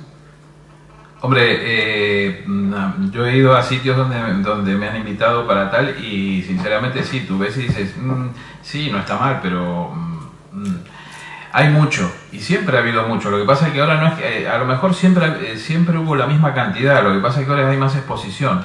Eh, Internet lo que te provoca es una exposición. Tú de tu casa entras en Google, haces así y tienes un montón de información en, en un momento en tu casa, en, en, tu salón. Antes tenías que salir, recorrer y ver o te tenían que invitar. Entonces la información, a lo mejor siempre hubo la misma cantidad de imágenes. Eh, los fotógrafos tenían miles de fotos, los que pintaban tenían miles de cuadros, pero claro, no, se, no llegaban tan rápido a ti. Hoy llegan a una velocidad que esa velocidad hace que mm, puedas inclusive ser mucho más eh, selectivo, porque puedes ver qué te gusta y qué no te gusta. Antes a lo mejor te llegaba una invitación para una eh, exposición de, de, cuadros de Kandinsky y tú decías, mmm, qué bueno, y que te gustaba tal, pero te llegaba también a lo mejor mucho más tarde la de un chico que recién empezaba a pintar y no le das mucha, no le prestabas atención. Hoy comparas en, en las dos invitaciones y ves las imágenes de los dos y tienes uno al lado de la otra y a lo mejor te gusta más el de tu amigo que el de Kandinsky. Eso es una, es una cuestión de información. Vivimos en una sociedad excesivamente informada por suerte. Hay gente que se asusta por esto, pero digo por suerte. A veces criticamos al WhatsApp, criticamos a las redes sociales, pero mm, tenemos que ver el lado bueno. Nos ha ayudado, a, a veces mucha gente dice, no, esto no nos interconecta, esto nos hace más impersonal. Yo creo que es todo lo contrario. Si se usa adecuadamente, esa información te viene bien. Esa información de poder tener un montón de imágenes en tu ordenador y poder decidir qué, qué te gusta y qué no te gusta es mucho más eh, positiva que hace 20 años atrás. Por lo menos lo veo yo así, no sé mis compañeros. Opinen, compañeros. A ver, pero tampoco seamos derrotistas, así como hay gente mala, hay gente muy buena. Y hoy en día a lo mejor eh, uno tenía que esperar unos años para ver un gran fotógrafo que se formara y demás. Y hoy te encuentras a chicos que se empapan de esa cultura, no solo a través de internet, sino a través de los, de los libros que se... Eh, que los tienen en PDFs y demás, como comentaba el compañero, que tienen mucho acceso a la información y a lo mejor te puedes encontrar un chaval de 17, años que es muy bueno, muy buen fotógrafo. Y eso la gente se fija y entonces hoy en día como tiene su portafolio en internet y demás, pues tiene una posibilidad increíble. Y yo no creo que que se le pueda llamar a alguien que se quiere meter o un intruso. No, no, es una persona que está buscando sus posibilidades. Y si es bueno, ¿por qué no la tener? Sí, yo en este aspecto diría que si yo voy a la casa oficial del Real Madrid o del Barça y me compro las zapatillas originales de Cristiano Ronaldo o la camiseta original de Messi, no me puedo ir al presidente del Real Madrid o del Barça y decirle, oiga, ¿qué le cobra Messi? ¿Qué le cobra Cristiano Ronaldo? Mire, aquí me tiene que yo le cobro. Pues no. Y es lo que nos ocurre a nosotros cuando tenemos unas fotografías y vamos a un sitio y mire que tengo un montón de fotografías buenísimas, tal, se las dejo a buen precio. Y la respuesta es, no, muchas gracias, ya me sobran fotos. ¿no? La calidad no está en el hábito, sino en la capacidad de innovar, en la capacidad de competir y el que tiene talento, el que tiene capacidad, tengo la impresión de que ese se podrá medir a precio de oro si su capacidad, si su talento es de oro. Y para conseguir un talento de oro, en mi opinión, solamente hay un secreto que es trabajar, trabajar, trabajar y tete al cubo, No sé si... Y hacer mucha fotografía, o sea, el tema... Eh, cuando uno más fotografías hace, más conclusiones saca, ¿no? Uno puede sacar más conclusiones de acerca de su estilo, de cómo mejorarlo, de cómo trabajar la luz, de cómo... Pero es como decía JC, por ejemplo, hace, un tiempo atrás me dice a mí, yo controlo el, Photoshop desde el Photoshop del beta, del primero que sacaron hace muchísimos años. no era ni el 1, era el beta. Y claro, siempre estuve trabajando con toda la suite Adobe y, con el Photoshop y con el Premiere, con el After Effects, con todos estos programas. Y me decía, mira, ¿me puedes enseñar Photoshop? Le digo, no, no te puedo enseñar Photoshop, porque para enseñar Photoshop tendrías que haberte sentado junto a mí casi 20 años eh, trabajando este, este programa. Te puedo dar unas claves mínimas para que salgas, saques adelante esto que estás haciendo, pero enseñarte Photoshop es imposible tienes que hacer un curso, tienes que eh, instruirte y, capacitarte en lo que es Photoshop como una herramienta de trabajo profesional con un profesional que te lo enseñe. Yo así, mm, de, oído, así en el momento no te lo puedo hacer. Te puedo dar un tip o puedes encontrarlo también, como decíamos antes, en YouTube, pero no, no se puede enseñar eso de la noche a la mañana. Lo que sí mm, es algo que es innato es la capacidad del fotógrafo. La fotografía se aprende, pero también se nace con ese, con ese pequeño instinto de ver las cosas de otro punto de vista, de poder manejar la luz, de controlar la luz y después con, con el estudio, con la formación, uno logra perfeccionar todo eso y, cuando ve el resultado dice, la verdad que soy bueno. Pero es más constancia que otra cosa, ¿eh? que inspiración. Bueno, siempre, siempre me decía a mí un profesor que era 95% de, de, de, transpiración y 5% de inspiración, ¿no? O sea, sí, es verdad, mucho trabajo. me gustaría comentar dos cositas sobre lo que has comentado. Sobre lo de los chavales, sí, yo todas las semanas veo un chaval de 17 años que hace mejores fotos que yo. por el mundo lo veo y siempre digo lo mismo si me como su corazón, eh, seré más joven y aprenderé y seré sus fotos, digo, digo la misma versión. Bueno, estoy por crear un blog que se llame Me como su corazón y e, e ir reseñando todos los chavales jovencitos. Bueno, como hashtag me gusta, Me como su corazón. Y, y dedicarnos a, a, poner hashtag a todas estas nuevas promesas. Ciertas que algunas aguantan, otras se queman. Pero bueno, aquí en España hemos tenido alguna que ha aguantado y la verdad es que cosas muy interesantes. Sobre lo de la multi, cantidad brutal de imágenes, cierto que, como comenté antes, como he comentado, se aprende practicando, nunca, nunca tenéis miedo de practicar, eh, nunca esperéis a ese momento de... Mejor domingo me, me da razón en esto. Eh, a, mí, a, mí, me gusta el cine como hobby, en el sentido de cómo se puede hacer, me gusta, me gusta hacer vídeos, participar en festivales y demás, y muchas veces viene gente, eh, cuando viene gente diciendo, no, es que no he podido hacer mi gran película, no he podido ser, pues aún no tengo los medios. Yo digo, coño, coge a alguien y graba. O sea, ah, graba. En fotografía pasa lo mismo. A mí, alguna vez he necesitado un asistente para algo, he dicho, típico en Facebook, por favor, necesito asistente. Necesito asistente para tal día, necesito que tenga coche eh, y sepa iluminación. Empieza a llegar los currículum. Hola, Albi, yo es que hice fotografía hace 10 años y eh, luego me dediqué a tal. Y yo me quedo. Por favor, enséñame fotos. Enséñame fotos. Dime, estas fotos son mías, estas fotos las iluminé yo. En vídeo igual, en vídeo a mí me ha pasado una vez con gente, me ha dicho, oye Albi, Jonito, cámara para tal cosa, Jonito tal. Y no te dirán, oye, mándame tu currículum, no te dirán, mándame tu reel, mándame lo que has hecho. O sea, haz cosas y, y luego enseña. Sobre todo, practicar, practicar, practicar, hacer todo lo que podáis y, pero muy importante, editar, por favor. Editar no es solo sentarse y hacer Photoshop. Editar es coger esas 300 fotos que has hecho esa sesión y decirte a ti mismo, si estas fotos las hubiera hecho otra persona, me gustarían. O sea, cortar ese nexo, ese nexo que tenéis con vuestro trabajo de son mis fotos, como son mis fotos, tienen que ser buenas. No. Mirar de forma objetiva y decir, ¿cuáles son realmente buenas? ¿Cuáles puedo enseñar? Estar, no sé cuál sea el de mis compañeros, yo digo que cuando empecé la fotografía, de 100 fotos salvaba 20 y decía, qué bueno soy. Ahora de 100 fotos salvo una y digo, joder, lo que me falta por, aprender. ¿Vale? Una frase que una vez fue aquella de, tu mejor foto tiene, eh, disculpa, eh, eres tan bueno como tu peor foto subida. Mejor tenéis un, un portfolio que sea y nunca os van a, jugar por vuestra mejor foto. Van a jugar por la peor mejor tenéis un portfolio y ese día subiste una foto horrible porque os dio por, hoy, hoy tengo que subir algo, subo esa foto. A lo mejor un día alguien que puede dar un trabajo llega a tu portafolio, ve un par de fotos y dice, joder, este, esta persona sale. De repente llega esa, ya sé. Pestaña X. ¿Vale? O sea, hay muchas fotos, sí, pero intentar editar y solo subir las buenas. Y respecto a la gente que hay miles de fotos por internet, intentar seguir a la gente. Hay mucha gente en Facebook y demás que gente, los buenos fotógrafos en Facebook, por ejemplo, suelen compartir fotos buenas. Decir, oye, esta gente me gusta. Y lo comparte. Seguid a esa gente. En Twitter, por ejemplo.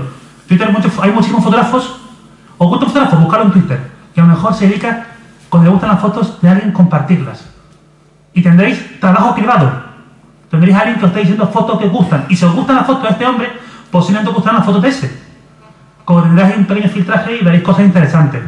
Para no, ser, no tirar ante internet en plan de toda mierda que hay pues un poco de filtro.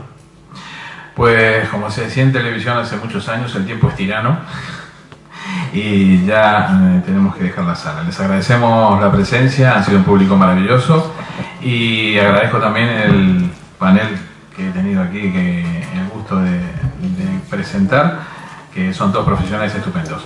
Los esperamos. ¿Cuándo es la próxima cita? Haz tu publicidad, por favor. Bueno, sí, mañana tenemos citadas a, lo que son modelos y las agencias de modelos. Os esperamos mañana también a estar por aquí. Muchas gracias. Gracias chicos.